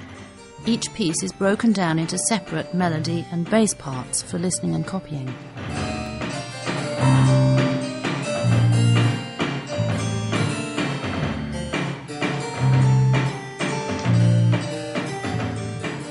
I think it's been a lot more challenging than pop it- music. Yeah, I think it's been harder than the pop music because pop music you can pick out the parts easier.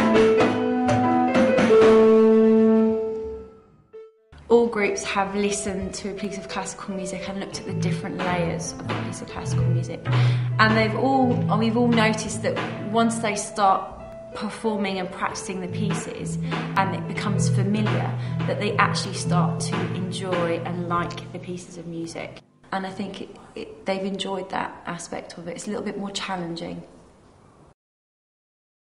E aí, viu? Nesse vídeo fica mais claro, né? Dá pra gente entender um pouquinho melhor o que, que é aquele processo inicial de trabalho, né? Que a professora dá o CD para os alunos e ela fala, ó, vão aí, escolham uma música para vocês é, tocarem, né? Aí os alunos vão lá para um cantinho com o seu aparelho de som, ficam ouvindo a fala, dão risada, né? Falam, não, essa não, ah, essa sim, né?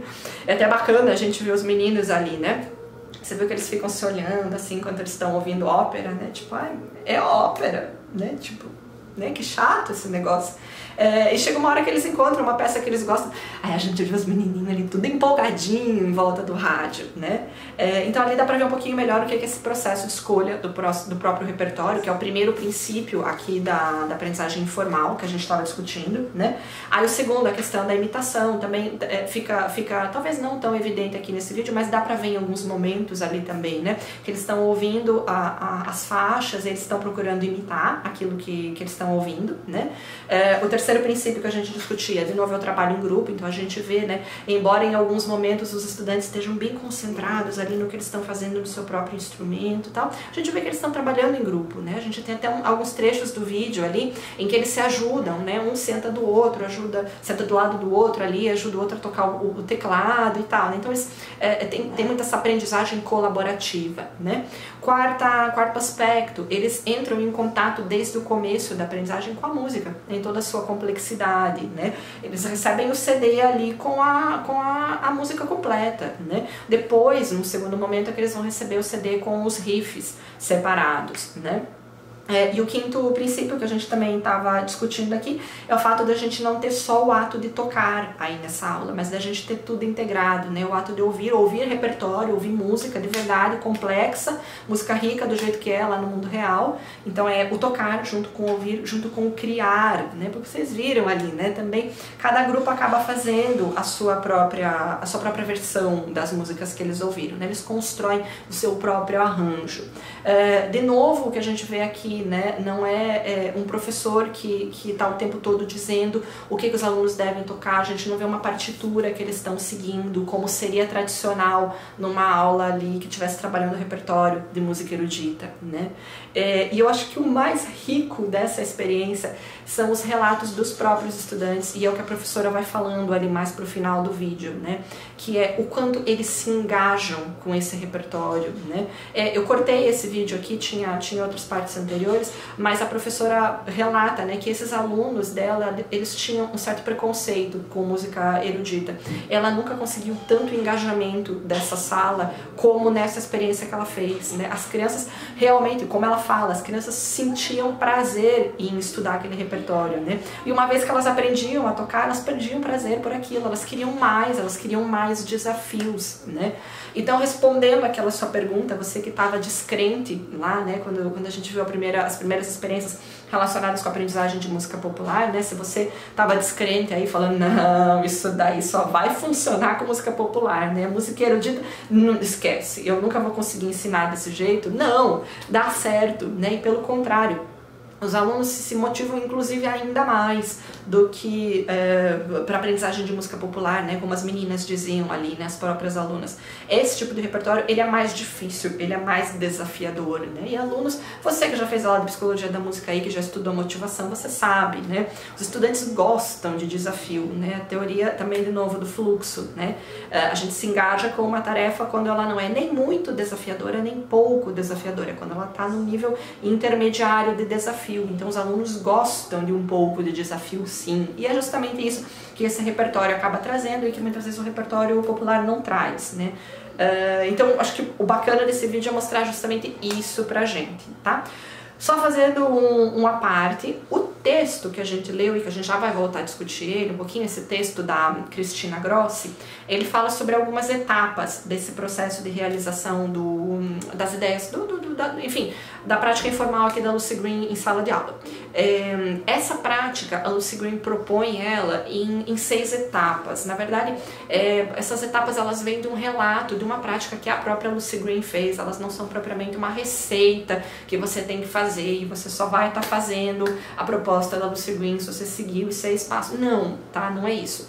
É, mas essa proposta que a Lucy Green desenvolveu, ela tem seis etapas. O texto que a gente viu aqui, essa discussão da, da Cristina Grossi, ele vai só até a etapa 3, mas as etapas seguintes, né, 4, 5 e 6, seriam justamente isso que a gente acabou de ver nesse vídeo, tá bom? É quando as crianças são apresentadas à música erudita, né, ou essa música que começa com música de propaganda, que não é essa música erudita assim totalmente desconhecida, é essa música erudita que eles já viram em algum momento da vida deles ali na TV, né? Então, numa segunda etapa, as crianças saem desse tipo de música de anúncio e vão para a música erudita, erudita mesmo, né? Mas o modo de aprendizagem é, de novo, o mesmo modo da prática informal, né? Ou seja, eles têm contato com os riffs, eles aprendem de ouvido, eles aprendem em grupo, todas essas coisas que a gente já veio discutindo, beleza? É, você deve ainda estar tá se fazendo uma última pergunta e deve estar tá falando, ah, mas isso só funciona nessas escolas da Inglaterra, que tem ali uma sala de aula cheia de instrumentos, né, que os alunos vão de gravata para a escola, só funciona nesse tipo de contexto, né, professora? É, não, e é, esse é o desafio, já vou dar um spoiler, tá? E esse é o desafio que eu vou propor para vocês na semana que vem, tá bom? A gente pensar nessas práticas aqui dentro dos nossos contextos brasileiros de educação básica, tá bom? Até mesmo de ensino de instrumento. É, tudo isso que a gente discutiu aqui, todas essas ideias da Lucy Green, é interessante a gente pensar de novo que elas não são uma metodologia fechada, elas não são um conjunto de prescrições, né, de passo a passo que você tem que fazer lá na tua aula. Tudo isso que a gente acabou de discutir nesse vídeo são alguns princípios pedagógicos e eles podem ser trazidos para qualquer contexto de sala de aula que vocês queiram pensar, tá bom?